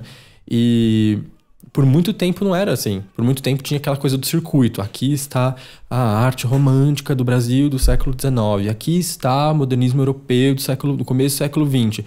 E aí o que, eu, o que eu mesmo fazia como visitante do museu? Eu ia para as áreas que eu queria ver e eu deixava de ver um monte de coisa. Eu falei, meu, na verdade tem um monte de Renoir, tem um monte de Van Gogh da hora que eu nunca fui ver, sabe? E eu acho que às vezes a gente faz disso um pouco, sabe? Quando a gente abre o Steam. E eu, eu sei que é um modo importante, fácil da gente colocar as coisas, né? A gente coloca nas categorias, então, ah, vou abrir o Steam, eu vou abrir qualquer outra loja de jogos, vou procurar os que eu quero jogar agora. Tô com vontade de jogar um jogo de corrida, abro lá. Mas às vezes tem alguns jogos que não se enquadram necessariamente num gênero, numa categoria, ou se enquadram mais de uma, sabe? Fica um pouco complicado pra gente, pra gente eh, ir atrás dessas coisas. E algumas experiências ficam meio perdidas no meio do caminho. Sim, com E é certeza. curioso que isso acontece com tudo. Música também é Tudo, muito isso, sabe? tudo. Tipo, música, especialmente depois. eu acho que aconteceu com o game, né? Tipo, todo mundo. Aliás, ferramentas acessíveis, mais pessoas desenvolvendo, mais produtos, mais jogos. Música, mesma coisa. A gente tem muitos produtores e é muito mais fácil você produzir música. E tem gente fazendo misturebas e criando coisas completamente novas. E, e- essa questão de gênero acontece com, Ah, com bom, música. E tu acha que com cinema, sabe? Sim. Ah, eu não gosto de filme de ação. É, mas se você falar isso, você deixa de fora o Mad Max mais recente, por É. exemplo, que olha o que é que ele falou. Ah, eu não gosto de filme de terror. Eu entendo, em geral, eu não sou tão fã, mas isso deixa de fora A Bruxa, por exemplo, que é um filme absolutamente maravilhoso. Então, é, eu, ente- é, eu acho que isso faz muito sentido. Eu Acho que às vezes a gente deixa de apreciar certas, certas ah, enfim, não vou dizer experiências, certos jogos por, por, por- por essa questão mesmo, sabe? A gente coloca a barreirinha do gênero. E eu acho que tem também um pouco da questão de ser um- uma espécie de mídia muito nova. Tipo, a gente ainda, a gente ainda tá digerindo um pouco do que. O que é? É ou não é? Pode ser? Tipo, walking simulators podem ser jogos. O que são jogos? Além que de, não dessa são? estranha resistência do. Quase me lembra quando. é, das histórias de pessoas que não queriam os talkies, queriam o cinema mudo continuar, Aham. sabe? Tipo, por, por que, que você fica irritado com a existência de um jogo que você não gosta? Você pode só não gostar É, exato. e, E seguir até, em frente. E até pensando nessa questão também, tipo, de. Eh, eh, de, de você, tipo, procurar uma coisa e olhar só uma coisa e deixar de ver as outras. Tipo, esses meus amigos, por exemplo, agora eu tava até pensando, eu tentando associar, eh, que tem videogame, jogam um pouquinho e tal, mas costumam associar só com experiências mais divertidas e coisas mais tradicionais. Tipo, eu fiquei pensando, mas o que, que eles assistem e, e ouvem e tal? E eu fui ver, era tudo pop, sabe? Tudo coisas, as coisas mais mainstream. É, e, e, de certa forma, eles estão replicando aquilo que. Eu estou falando de uma maneira bem geral, Aham. não estou apontando alguém. Mas é, aquilo que eles. Da maneira que eles consomem, sei lá, séries ou música, eles estão fazendo a mesma coisa com videogames, sabe? Tipo, é, indo pro lado mais mainstream da coisa. Talvez se a pessoa acabar se aprofundando um pouquinho, ela vai ver que tem toda uma profundidade, uma, uma variedade. E daí, a partir daí. É, ela pode ter essas outras experiências, só que precisa dessa primeira atitude, né? Desse primeiro. da vontade simplesmente de conhecer mais. E uma pessoa que não tem nenhum contato de- com videogame e, e sem uma outra pessoa que vai introduzi-la a isso, ela não vai de fato ir, ir pra lá sozinha, sabe? Tanto que, bom, sem alongar tanto, mas o sucesso do Wii é muito explicado nisso. né? Era um controle que, meu, parece meu controle remoto, eu sei segurar isso aqui. Ah, esse jogo, esse jogo não precisa de nenhum botão, eu mexo minha mão eu tô dando uma raquetada. O sucesso de Rock Band também, do, tipo, ou de Guitar Hero, do tipo, ah, uma guitarra. Eu posso nunca ter tocado uma guitarra, mas eu sei exatamente como uma guitarra é segurada e onde eu ponho minha mão. É, esse tipo de coisa. Mas é, enfim, foi, bem legal, discussão boa. Ah, Mídio, quem quiser seguir você em redes sociais, acompanhar os trabalhos que você faz, onde eles podem te encontrar? O jeito mais fácil de entrar em contato comigo, ou de checar o que eu tô falando, fazendo, etc., é via Twitter. Porque é o lugar que eu tô mais presente, assim mesmo. Não tem Facebook mais. Muita gente, ah, meu, eu segui esse cara no Facebook, ele me apagou. Não, eu apaguei o Facebook no geral. assim, não tem mais O, Facebook. o seu Twitter é Mídio É, twitter.com.br mídio. Lá tem meu e-mail, dá pra mandar mensagem direta, dá pra mandar um tweet, perguntar coisas. Tô sempre aberto, só escrever lá. E você tem lá. um Tumblr também, você falou? Você Tem usa um Tumblr, ele? portfólio, mas tá tudo listado no, no, no Twitter. Ah, Então tá. tá, tudo lá. Pega lá, que é tipo um cartãozinho de visita, é um lugar onde eu co- congrego tudo, porque fica mais fácil assim mesmo. Então é isso. Muito obrigado por eu vir que aqui agradeço, gente. gente. Muito, Foi muito ótimo. obrigado. E. Rick, você sabe que eu tô sempre agradecido pela sua presença aqui. Muito obrigado a todos que acompanharam a gente. A gente se vê então de novo na semana que vem com mais Mothership. Tchau.